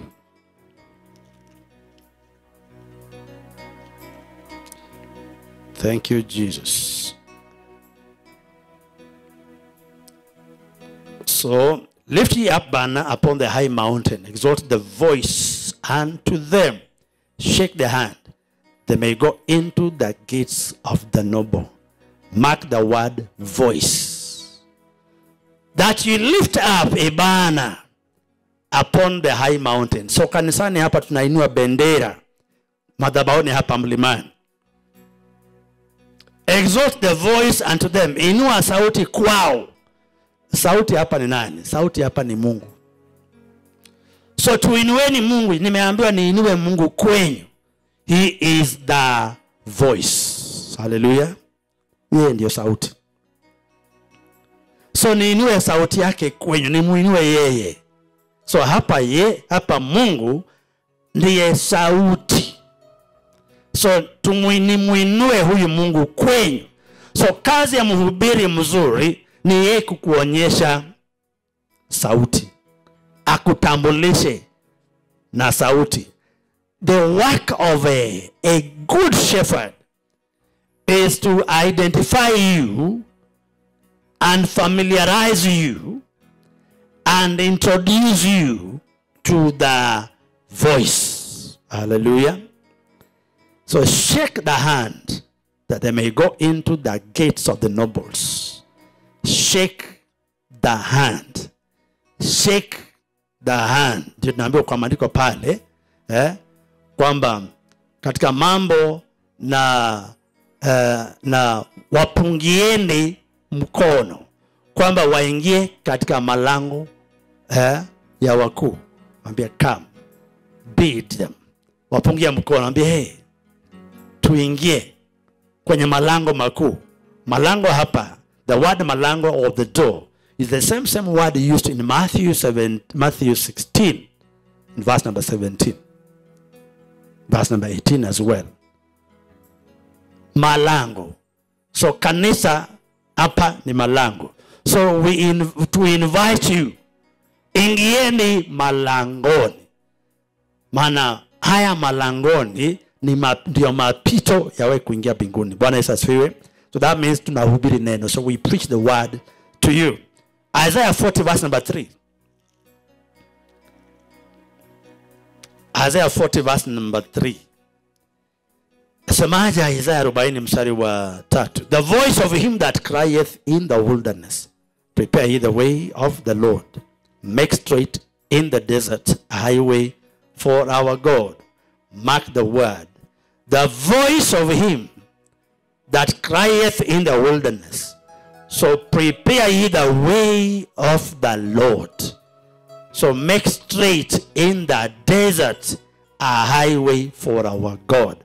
Verse 4 Every valley shall be exalted, every mountain uh, and hill shall be made low, and the crooked shall be made straight, and the rough places plain. And the glory of the Lord shall be revealed, and all flesh shall see it together, for the mouth of the Lord has spoken it. Haleluya! Kazi ya mhubiri. Aya Isaya huyo kitafsiri ya Kiswahili inasemaje? Mstari sura ni 40 mstari wa tatu. Nasomeni sasa, sikilizeni ama sikiliza, ni sauti ya mtu aliye uh, aliaye, itengenezeni nyikani njia ya Bwana, nyosheni jangwani njia kuu kwa Mungu wetu. Kila bonde litainuliwa na kila mlima na kilima kitashushwa. Palipopotoka eh, palipopopotoka patakuwa pamenyooka, na palipo eh, palipoparuza eh, patasawazishwa, na utukufu wa Bwana utafunuliwa, na wote wenye mwili watauona pamoja, kwa kuwa kinywa cha Bwana kimenena haya. So sikiliza, ni sauti ya mtu asemaye, lia. Nikasema, nilie nini? Wote wenye mwili ni majani, na wema wake wote ni kama uh, ua la kondeni. So majani yatakauka, ua la nyauka, kwa sababu pumzi ya Bwana lapita juu yake. Lakini watu hawa ni majani, majani yakauka na lanyauka, bali neno la Mungu wetu litasimama milele. Wewe umwibidie, umhubirie Zayuni habari njema, panda juu ya mlima mrefu. Wewe uhubirie Yerusalemu habari njema, paza sauti kwa nguvu, paza sauti yako, usiogope. Uiambie mji wa Yuda, tazameni Mungu wenu. Haleluya! Tazameni Bwana atakuja kama shujaa na mkono wake e, ndio utakao watawalia. Tazameni dawabu yake i pamoja naye na ijara yake i mbele zake. Haleluya! Nao maandiko yazungumzia sauti. Pasta mzuri ni anakuwachanga na hali ambazo wewe unakuamilia kwa Kristo na mahubiri ambazo anakupatia zile ambazo zinakumaintain zinakushikilia zinakuhifadhi katika mtazamo wa wewe kumwangalia Kristo. So sauti ile utakuwa naisikiza, anakutambulisha na sauti. Our messages as we preach it, there is a voice in it. That voice is a voice of God. Hallelujah. So pastor ambaye ameshikana na Mungu atakutambua kwa Mungu, atakutambulisha kwa Mungu. There is not a way. Pastor ambaye uhusiano wake ni na Mungu ni atakutambulisha na sauti ya Kristo. Because we give you such as we have received. Such as I have, I give to you. Kila ambacho nilicho nacho ndicho nakupatia. so kama mhubiri hana roho wa mungu ndani yake basi please haitawezekana yeye akutambulishe kwa roho wa mungu. Maana roho yake na roho wa mungu ni roho kinzani zinapingana. How will he introduce you to the spirit of christ? So it matters with your pastor. Unakula kwa nani na ikiwezekana vile mariki asema pima kina roho. Please pima pasta wako haleluya pima mhubiri wako haleluya pia unaweza enda mbele mungu sema mungu nataka uniambie huyu ni mtumishi wako. And that's why i'm never against anybody who asks what about me. Haleluya because bible says kwamba if a man has anything kama mtu ana kitu chochote ndani yake basi mwanzo kwamba aliipokea na kama alipokea swali ni alipokea wapi bible tells us that every good gift comes from who? Come from above. Haleluya kila kilicho kizuri kimetokamana mbinguni. Matthew chapter number what? So matthew tells us the same. Chapter 3 verse number 3 uh, tuangalia mathayo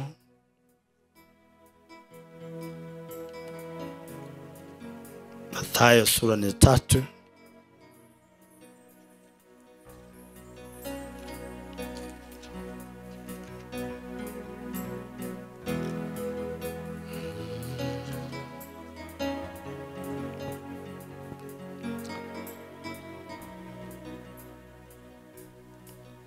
Nasema hivi kwa sababu uh, nimesema Isaya uh, nimesema Mathayo sura ni tatu mstari wa tatu kwa sababu huyo ndiye aliyenenwa na nabii Isaia akisema, sauti ya mtu aliaye nyikani, itengenezeni njia ya Bwana, yanyosheni mapito yake. Naye Yohana mwenye alikuwa na vazi lake la singa za ngamia na mshipi wa ngozi kiunoni mwake, na chakula chake kilikuwa nzige na asali ya mwitu. Haleluya! So alikuwa anawaambia kwamba nini? A, sauti yake ilikuwa ni sauti ambayo inatambulisha Kristo. That is the work that mtu mhubiri mzuri lazima kufanyishie. Kila anapokuhubiria anakutambulisha na sauti, anakutambulisha kuwa sauti. Wakati mhubiri baada ya kuhubiria unabaki kwamba unabaki na hali ambazo haujatambulishwa kuwa sauti kuu, basi huyo mhubiri ni mhujuma, ni mhujuma. Mwinjilisti ambaye hakutambulishi kwa Kristo Yesu, yeye ni mhujuma. So hapa tuonyeshwa mfano wa mwinjilisti wa kipekee ambaye ni Yohana. He was an evangelist prophet. He was a prophet. He was an, a, a, a prophet evangelist. So Maria asema ni sauti ni kama vile Isaia. So Isaia also tumesoma hapo mbeleni, na pia twasoma kuhusu pia Yohana, wanashahidia kitu kimoja, kutambuliwa ama kutambulishwa na sauti. So kama wewe unazo sauti zinginezo, then please suspect number one ni wewe, suspect number two ni your pastor ama mapasta wako walikulisha nini? because you're a product of what you're fed. Lakini Mungu anasema nitawapeni wachungaji wanaotokamana na moyo wangu, Yeremia 3:15. Jeremiah chapter 3 verse number 15. So God says, mimi count me out. Siwezi kuwapatieni wachungaji wabaya. So he says, na mimi nitawapaeni wachungaji watoka wanaotokamana na moyo wangu, wachungaji wanipendezao mimi moyo wangu hawa ndio wachungaji ambao watawalisheni maarifa na ufahamu. Mtatokea katika hali ya kuijua sauti yangu, kupambanua njia zangu na kuwa watu wangu wa hakika. That's exactly Jeremiah 3:15. Haleluya. So sauti ya mtu aliaye nyikani ni nani huyu? Ni Yohana. Asemaje? Itengeze, tengenezeni njia ya Bwana na nyosheni mapito yake. Haleluya. ndiyo mtembee na yeye others mbinguni sahau. So today if you want to be a Christian ambao unasikia sauti ya Mungu na unatembea na yeye, basi lazima ukate zile laini zingine. Now that is well done wakati unafunga chakula in your fasting. Right now katika mfungo, what are you asking God for? whereas kuuliza mungu baba ningetaka unilipie rent na school fees please those are needs. Na hizo hizo vitu mara mingi si lazima uzifungie chakula because bible calls them addition. Bible calls them what? Uh, addition. Uh, there, there are substances that will be doing what will be added unto you. So is that not what um, matthew chapter 6 and verse number 33 talks about uh, things that are added. But what is key? Kilicho muhimu seeking first the kingdom of god and his righteousness. Haleluya tafuta kwanza ufalme wa mungu na nini? Na haki yake. But when you are fasting for food unafunga saumu kwamba mungu nataka unipatie ni make sure kwamba ni kuna sukari ya kutosha kwa nyumba yangu. Mungu nafunga chakula ili uone kwamba ninahitaji maziwa ikatosha kwa nyumba yangu. Please you are asking for things that are temporary. Hizo ni vitu ambazo zitaisha tafuta kile ambacho hakikwishi uzima wa milele. Haleluya so if you are fasting and you are praying seeking god to divorce yourself from other voices. Haleluya that is important. Maombi yako ya saumu siku saba. Kwamba mimi mungu zile sauti zote basi mi uyasikia leo unayasima. mungu nisaidie tu kwamba iwezekane kwa njia zako mwenyewe. Hizo sauti zingine nisiasikie tena. Nimejikatanisha nazo. In other words nimedivorce. Hizo sauti. Haleluya basi talaka ulipwa talaka ulipwa when you divorce a woman unalipa? Wanawake ambao pia you man. Don't you know kwamba dakana ulipe ulipe mahari? Mwanamke ukikataa mwanaume eh? Na hata kuna wanaume ambao wakikudivorce wanaitisha mahari yao. So please katika ufalme wa mungu pia hata mi ndakuambia kama ulikuwa mwoleka na mabwana wengine au hizo sauti zingine zote ndugu ya obelsibuth kazini ya obelsibuth brother wa obelsibuth uncle wa obelsibuth anti wa obelsibuth please ukishafanya talaka na wao call- we call them voices. Ukikuja please nionyeshe kwamba eh, nionyeshe barua ya, ya talaka. Show me the certificate of divorce. Haleluya and certificate is certified. Wakati mahari umefanywa nini? Umerudisha. Nikiwezekana rudisha hiyo mahari na int interest.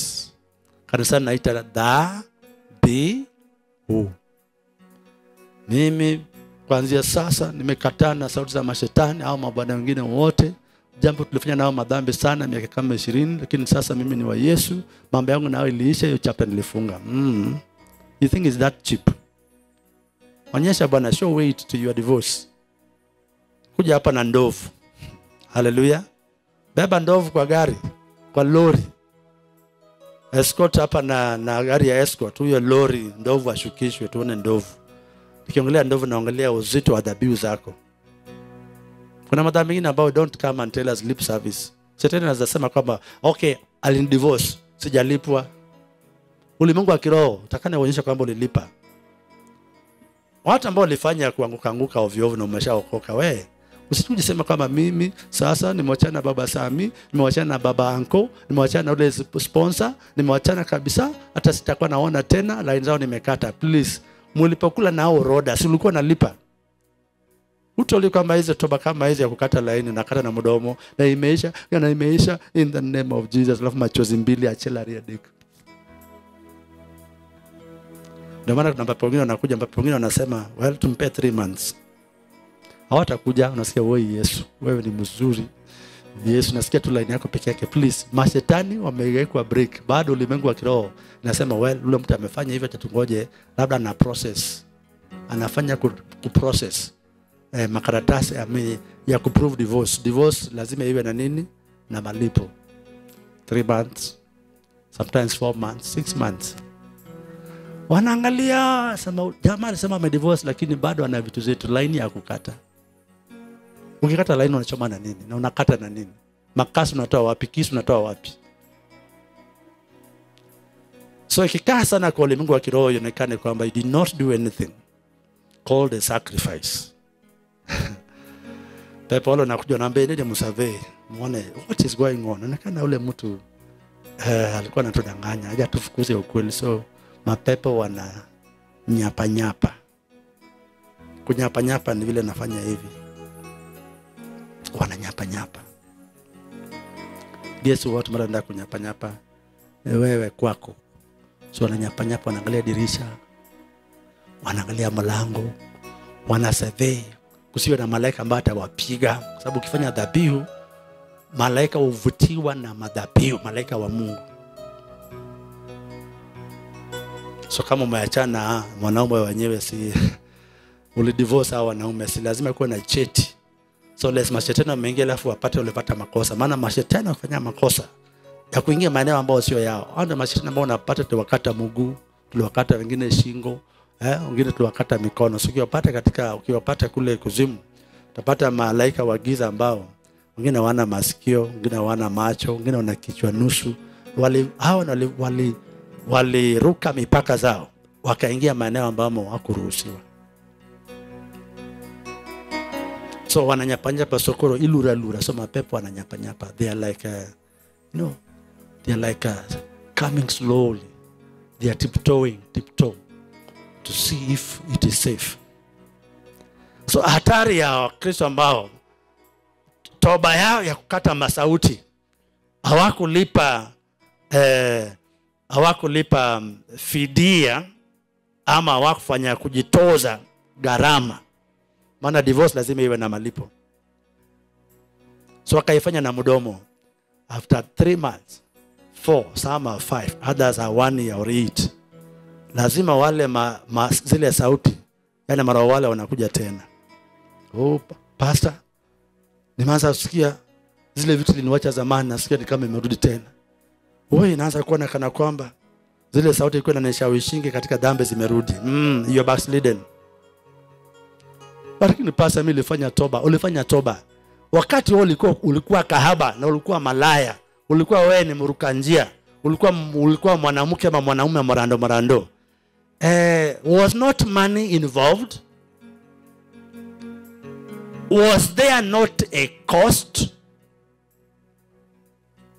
je hakukuwa na gharama?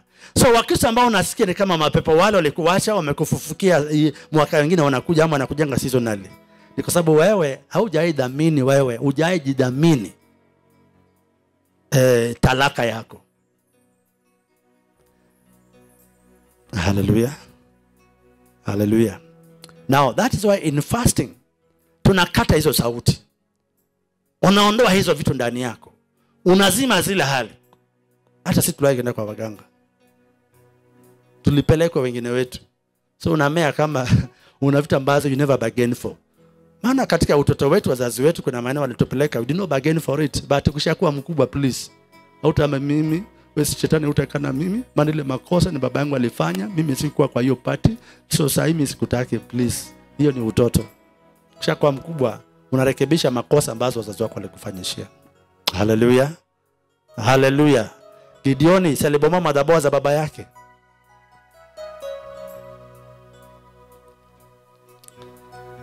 Sasa mhubiri mzuri anakubiria mahubiri ambazo za kutambulisha na kristo. Pia nakuambia kuna kuanga namna gani katika safari hiyo. So that tunakuwa na laini moja. Wakristo ambao wana laini zaidi ya moja they can never be successful christians in matter spiritual. Hawezi tembea na mamlaka waambie shetani. Kwa yesu kristo lio na mamlaka yake nakwambia toka maeneo haya.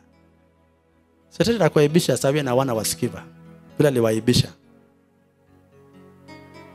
so lazima ufike mahali penye yesu anakuita wewe ni mwana. Yesu anakuita wewe ni bi harusi wake. So that is even if you are a man so in that context wewe pia ni bibi harusi. Maana yesu ndiye bwana I mean, uh, yesu ndiye bwana harusi. So wewe ni bikira wake. So that means line yako ni moja. Bwana asifiwe.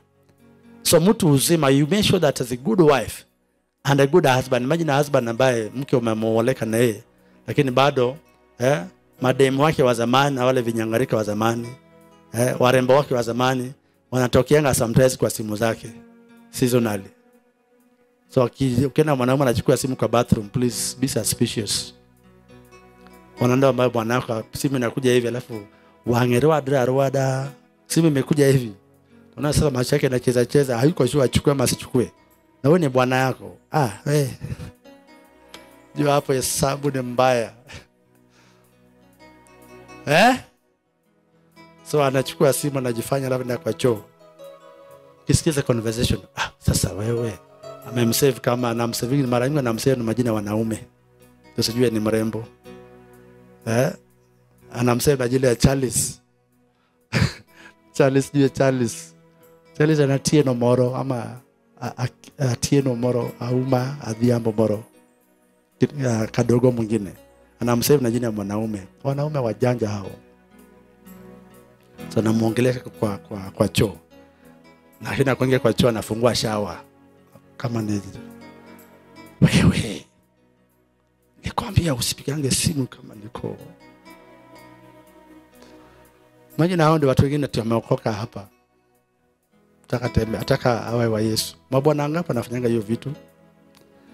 Na ni wanawake wangapi ufanya hivyo ana save ana save uh, mpango wa kando wake uh, na majina ya mwanaume. I mean, majina ya mwanamke mwenzako. Ati sister uh, sister. Please ukweli kwamba si sister. That's a decoy. That's a coded name. So kama wokovu wako ni kama hiyo mbinguni hakuna so hapa? Utahitaji yesu anatoa ushuhuda wake juu yako. Baadaye jana tuliangalia ushuhuda wa mungu kuhusu abrahamu na ushuhuda wa mungu baba kumhusu yesu kristo. Na ushuhuda huo wa mungu baba kumuhusu yesu kristo imo katika mathayo tatu mstari wa kumi na sita na kumi na saba. Eh, mathayo tatu mstari wa kumi na sita. Nasema hivi wajamani sijamaliza so sionyeshe kwamba unataka kuondoka. Eh, bado. Please uwe kama ndovu. Chakula cha revelation hizo ministries please. Ni kama is a seven course meal. Zoea. Naye yesu alipokwisha kubatizwa mara akapanda kutoka majini. Na tazama mbingu zikamfunukia. Akamwona roho wa mungu akishuka kama hua yani kama njiwa. Akija juu yake. Na tazama sauti kutoka mbinguni ikisema huyu ni mwanangu mpendwa wangu ninayependezwa naye. Sauti ya nani? So hapa tena ni sauti ya mungu baba sauti ambayo inaweka muhuri kuhusu mwana. How many of us mungu baba sauti yake itanena juu yako kwamba wewe ni mwana wake? How many of us are so sure right now that god will voice it to people to hear that you are his son? Yesu akashuhudia kwamba wewe ni harusi wake. How many of us today you know god can vote his confidence about you? Kuna watu ambao yesu asema yesu hawezi thubutu kusema kwamba wewe ni wake maana mashetani wako pale wanashahidia acha tune vile yesu atasema wewe ni wetu tunakudai wewe ni wetu. Situlizana na wewe mtoto si tulikupea kazi tulikupea mume. Ndio hatari ya ndoa ambazo ulipata na uganga haya someone haleluya someone haleluya lazima ufanyikie ama ufanyishie imani yako you work on your salvation. So much that even demons hata mashetani wanashabikia kwamba yesu ni bwana. Au a song ambayo imeimbwa na nani? Imeimbwa I don't know mwenye ameimba lakini nasikia yesu ni bwana. Sijui kama bado mbeo huko na mwenye limba pia sijui. Nilisikiza miaka ingine huko nyuma inasema yesu ni nani? Hata mashetani pia wanashabikia kwamba yesu ni nani upande ushuke ulale wamke yesu ni nani? I, I don't remember exact lyrics lakini kuna, kuna mwimbaji ameimba huo wimbo yesu ni nani? Okay, sijui yeye sana lakini lazima ni adore kama ni okay, sijui kama ni mtanzania ama mkenya. Ukubali ukatae kwamba nasi ni bwana lakini yesu bado ni nani? Ukatae na ukubali please badilishe chochote. Yesu bado ni nani? Sasa ikipatikana yesu mwenyewe ashuhudie wewe kwamba wewe ni wake. Unasikiaje hiyo? So he must work on our salvation. Otherwise duniani hapa tutakuwa sauti.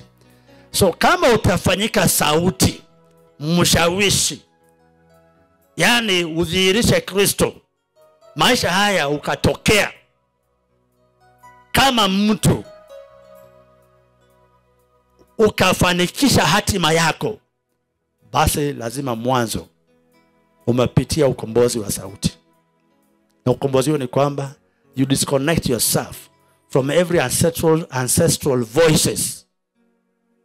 Ah, katika safari ya ukovu hatushawishiki na sauti za uzao wetu. Maana uzao wetu wengine wetu kwetu ni waganga. Kwetu ni washirikina. So kama zile nguvu za kishirikina ndio nakushawishi kwa ukovu sasa nahubiri hapa lakini nasikia nahubiri lakini pia naletanga utamaduni. Nahubiri lakini pia nawaletea matendo za kishirikina. Please chenye nahubiria itawaathiri. Lazima niwatambulishe kwa mungu mmoja na mimi niwe mbele na nyinyi mnanifuata. Haleluya haleluya paulo anasema nifuate kadi mi pia navyomfuata nani? Namfuata kristo yesu. You follow me as i also follow who? Follow jesus. Na paulo alikuwa na uhakika wa bwana wake na akawambia nifuateni mimi. Bwana mi namfuata kristo. Sasa imagine mhubiri ambaye anakuambia well mi nakubiria but what um, nakubiria lakini kwa yesu ni vile utaona tu lakini mi nakubiria. Hiyo mimi sina. Because kama utanifuata please define why are you following me? Na ikitakana nakana nakuwa na ma nakuwa na ile karatasi ndiko tufanya nini? Questionnaire questionnaire one of the questions tumeandika pale ni wewe mgeni ama wewe uliyeingia hapa ama wewe mshirika please eh, eh, elezea kwa, ma, kwa maneno machache ni kwa nini umekuja kwa hii kanisa? Ni kwa nini unafuata umekuja hapa unafuata huyu mtumishi? Kwa nini? So ndakana uandike pale well eh, nitarajia umeandika mimi namfuata huyo nyango maana nina imani anamfuata kristo yesu na nimepambanua na nimethibitisha ako na roho wa kristo yesu.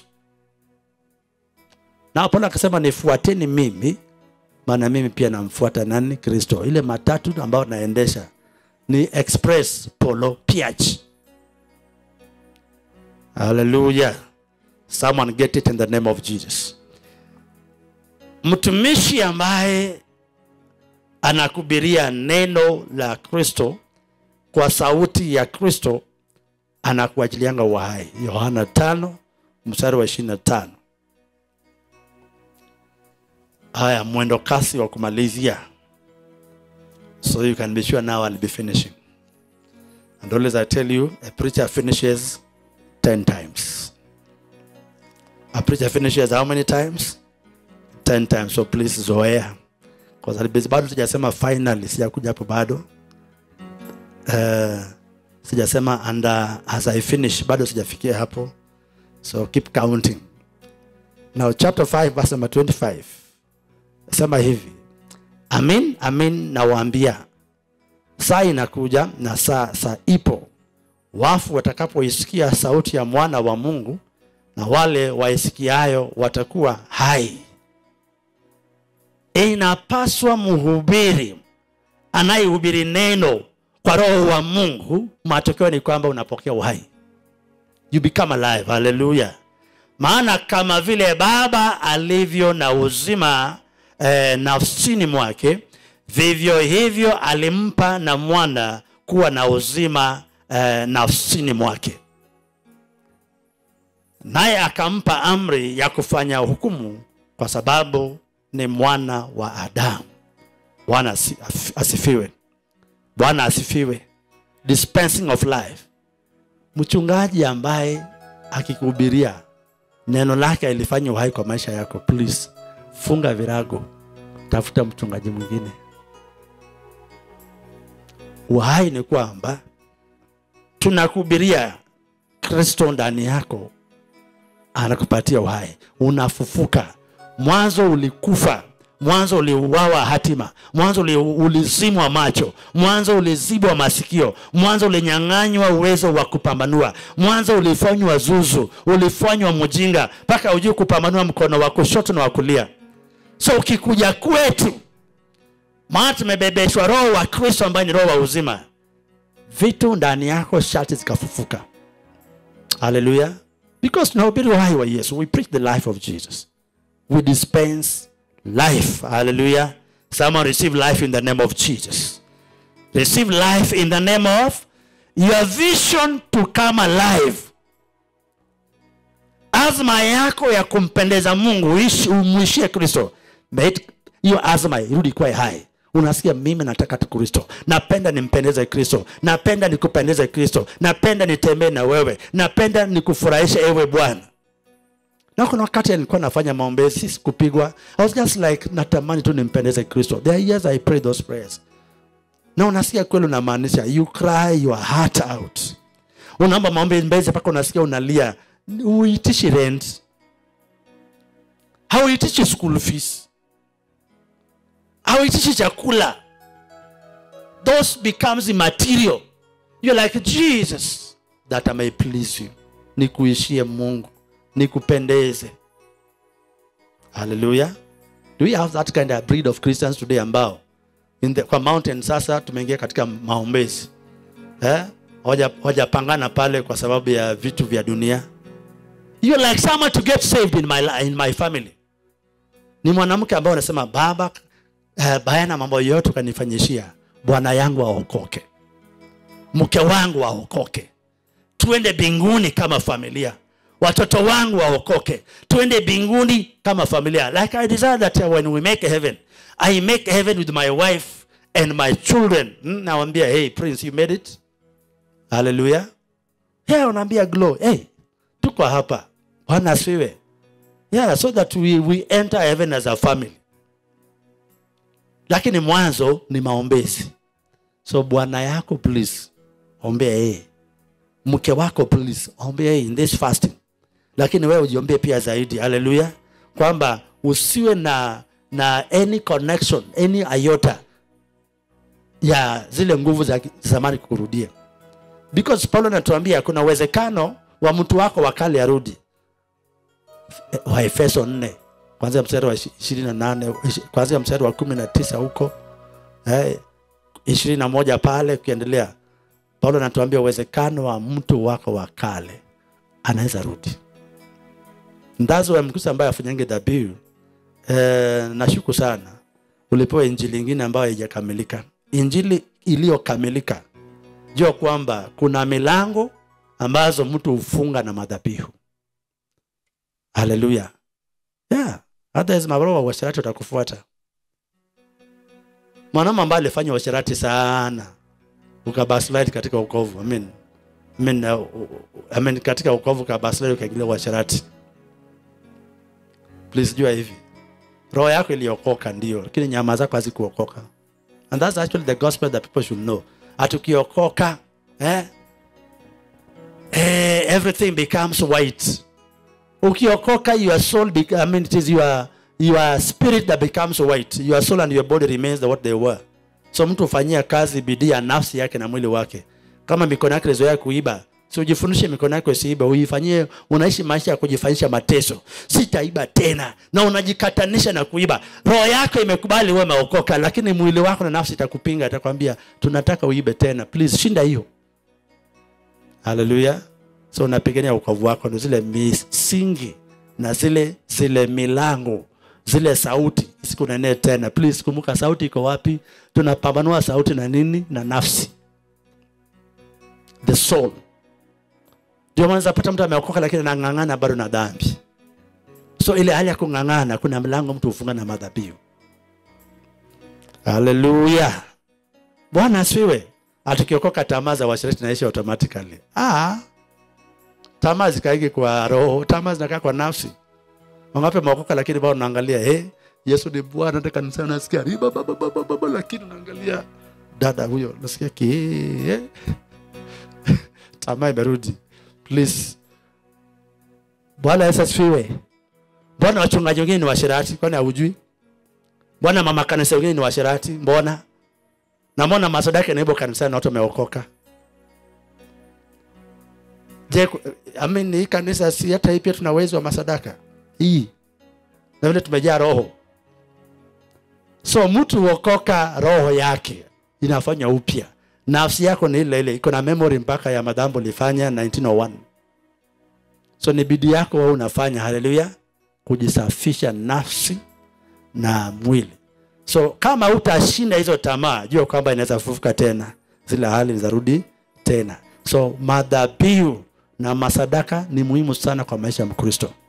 So one way of making sure that you go through deliverance of voices is total divorce with sacrifice so you live a life of sacrifice. So fasting is also a way of sacrifice. Haleluya bwana asifiwe. So una graduate unafika mahali penye eh, jinsi yesu anavyosema in john 10 and verse number 4 to verse number 18 eh, you are able to distinguish voices. Wewe ni mkristo ambao unaweza pambanua sauti. Jua hii si yetu. Huyu ni ya shetani. Maana umekaa na mungu mpaka unajua sauti ya mungu. You know unajua sauti ya mungu sana. Kiasi kwamba sauti nyingine ikinena hapo unajua ai hapo hakuna mungu. The lord mature you in jesus name. The lord graduate you in jesus name. 1 corinthians 14 verse number 10 eh, niwafundisheni jana paulo anatuambia kwamba ujue kuzipambanua sauti. Jua jinsi ya kuzitofautisha sauti ujue jinsi ya kuchuja sauti. Masauti zingine zote unazichuja na kuondokea maishani. Unabaki na sauti iliyo kuu sauti ya mungu. Bwana asifiwe. These verses all of these verses they are relevant in the context of the voice. Unafanyika sauti kwa ajili mwanzo. Umejikatanisha na sauti zingine. So that your decision does not have another influence. Ukikataa kitu wendo umeikataa. But how many of us unakataa kitu kuna sauti nakwambia hapana? Wewe umekataa lakini hapana. So nashindwa kama nilikataa did i say yes or no? And was i correct? Was i right? Mbona nimeshasema kitu nasikia nikana kwamba ni nipindue chenye nilisema. That means wewe hauna msimamo ndani yako. Maandiko yasema james apostle james anajua watu kama wewe asema kwamba na mtu kama wewe that is james 1 and verse number 6 hmm? I mean verse number, number 8 kwamba mtu mwenye kugawanyika hivyo ni mtu ambaye matokeo ni kwamba ananga msimamo kwa mambo zote. In finishing as i finish as i and as we also finish. Kuna kuna hapa apostle overseer bishop james in chapter 1 verse number 8 mstari i mean verse number 7 eh? maybe turudi verse number 6 ndio ushike yeye vizuri so verse number 6 ila na aombe kwa imani pasipo shaka yoyote maana mwenye shaka ni kama uh, ni kama wimbi la bahari lililochukuliwa na upepo na kupeperushwa huku na kule. Maana mtu kama yule asidhani ya kuwa atapokea kitu kwa mungu. Mtu wa nia mbili yeye husitasita katika njia zake zote mtu wa nia mbili ni mtu ambaye moyo wake akili zake zimegawanyika. So mtu kama moyo akisema kitu kwa roho nafsi yake pia inasema hapana. Maana nafsi yake hajaitisha kukuwa yesu. Maana sauti zingine za penya katika nafsi. Someone god give you understanding. Hallelujah. Soul is the seat of our senses. Our hearing is actually uh, enabled by our senses, which are seated in the soul. So if there be other voices that you want to depict, your soul tunes to them. So iliokoka, so your spirit got saved, united to Jesus. Mtu fanya bidii kukatanisha nafsi yako na sauti zingine zote, so that your soul, yani nafsi yako na mwili wako kwa pamoja zimefungamana na nini? Na roho. We call you a mature Christian. Yenye ukisema ndio, ndio yako ni ndio, sio ndio hapana. Haleluya. That means nafsi yako na mwili zimetii kunyenyekea katika roho. Haya, umbali huo, watu mnajua jinsi mtajiombea. Haleluya. Finally, I say, be a doer of the word and not just a hearer. Tuko practicals. In your fasting, apply the word. Haleluya. Ni warfare. Unakata hiyo masauti. Taja mapasa fulani na majina yao. Taja madhabahu fulani na majina yao.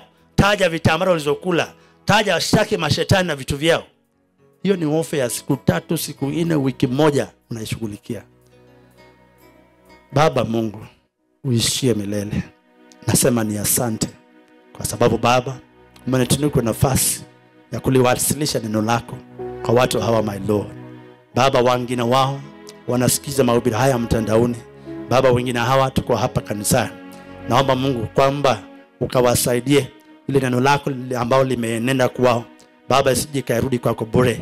Naamini ya kwamba neno lako my Lord Jehova ikatimiza makusudi ambazo umeyakusudia kwamba tupate toba, tuzishinde sauti sauti ambazo zimetudanganya, sauti ambazo imetuchanganya, sauti ambazo ilitushawishi vibaya. Hizo sauti tumezifunga na nakatakata sauti hizo maishani mwangu in the name of Jesus. Hivyo Yesu, naomba wengi, wengi wote hawa wakazingatia na kuenenda mfanyiko sawia ya kujikatanisha na sauti zinginezo, wakajikatanisha na maroho zinginezo, wakajikatanisha na madhabahu zinginezo ambazo ziliwafanyisha Baba kuonekana kama wasinzi na makahaba, ili kuanzia sasa tuwe waaminifu kwako, ewe Bwana Yesu, maana kwetu wewe ni Bwana, sisi ni watu wako, sisi ni kanisa lako, sisi ni biharusi wako. Utusaidie maisha yetu isiwe na mawaa. Baba, naomba kwamba katika msimu huu na majira haya ya maombezi tujifundishe Baba uaminifu, tujifundishe Baba kuaminika, Baba kwa katika ndoa hii ya wokovu, tuenende katika hali ya makubaliano na wewe, tukakupendeza, tukakufurahisha katika jina la Yesu, ili Baba roho wako akatutawala Baba. Hivyo naomba kwamba utufanyishe sisi tufanyike Baba washawishi kwa kutokamana Baba na kuyazima sauti zinginezo ambazo zimetunyima Baba kuwa na ushawishi. We pray that thou my Lord shall grant the law we become my Lord thy voice and Lord not voices. Yesu tutawale maisha yetu. Asante Baba kwa wote hawa ambao wanaomba ombi hilo. Baba Yesu kwamba wasaidie Baba kwamba watazingatia kuyatenda haya jinsi Roho wako ameniruhusu kuyahubiri, wahukumu, wanene na washawishi. Baba ni asante.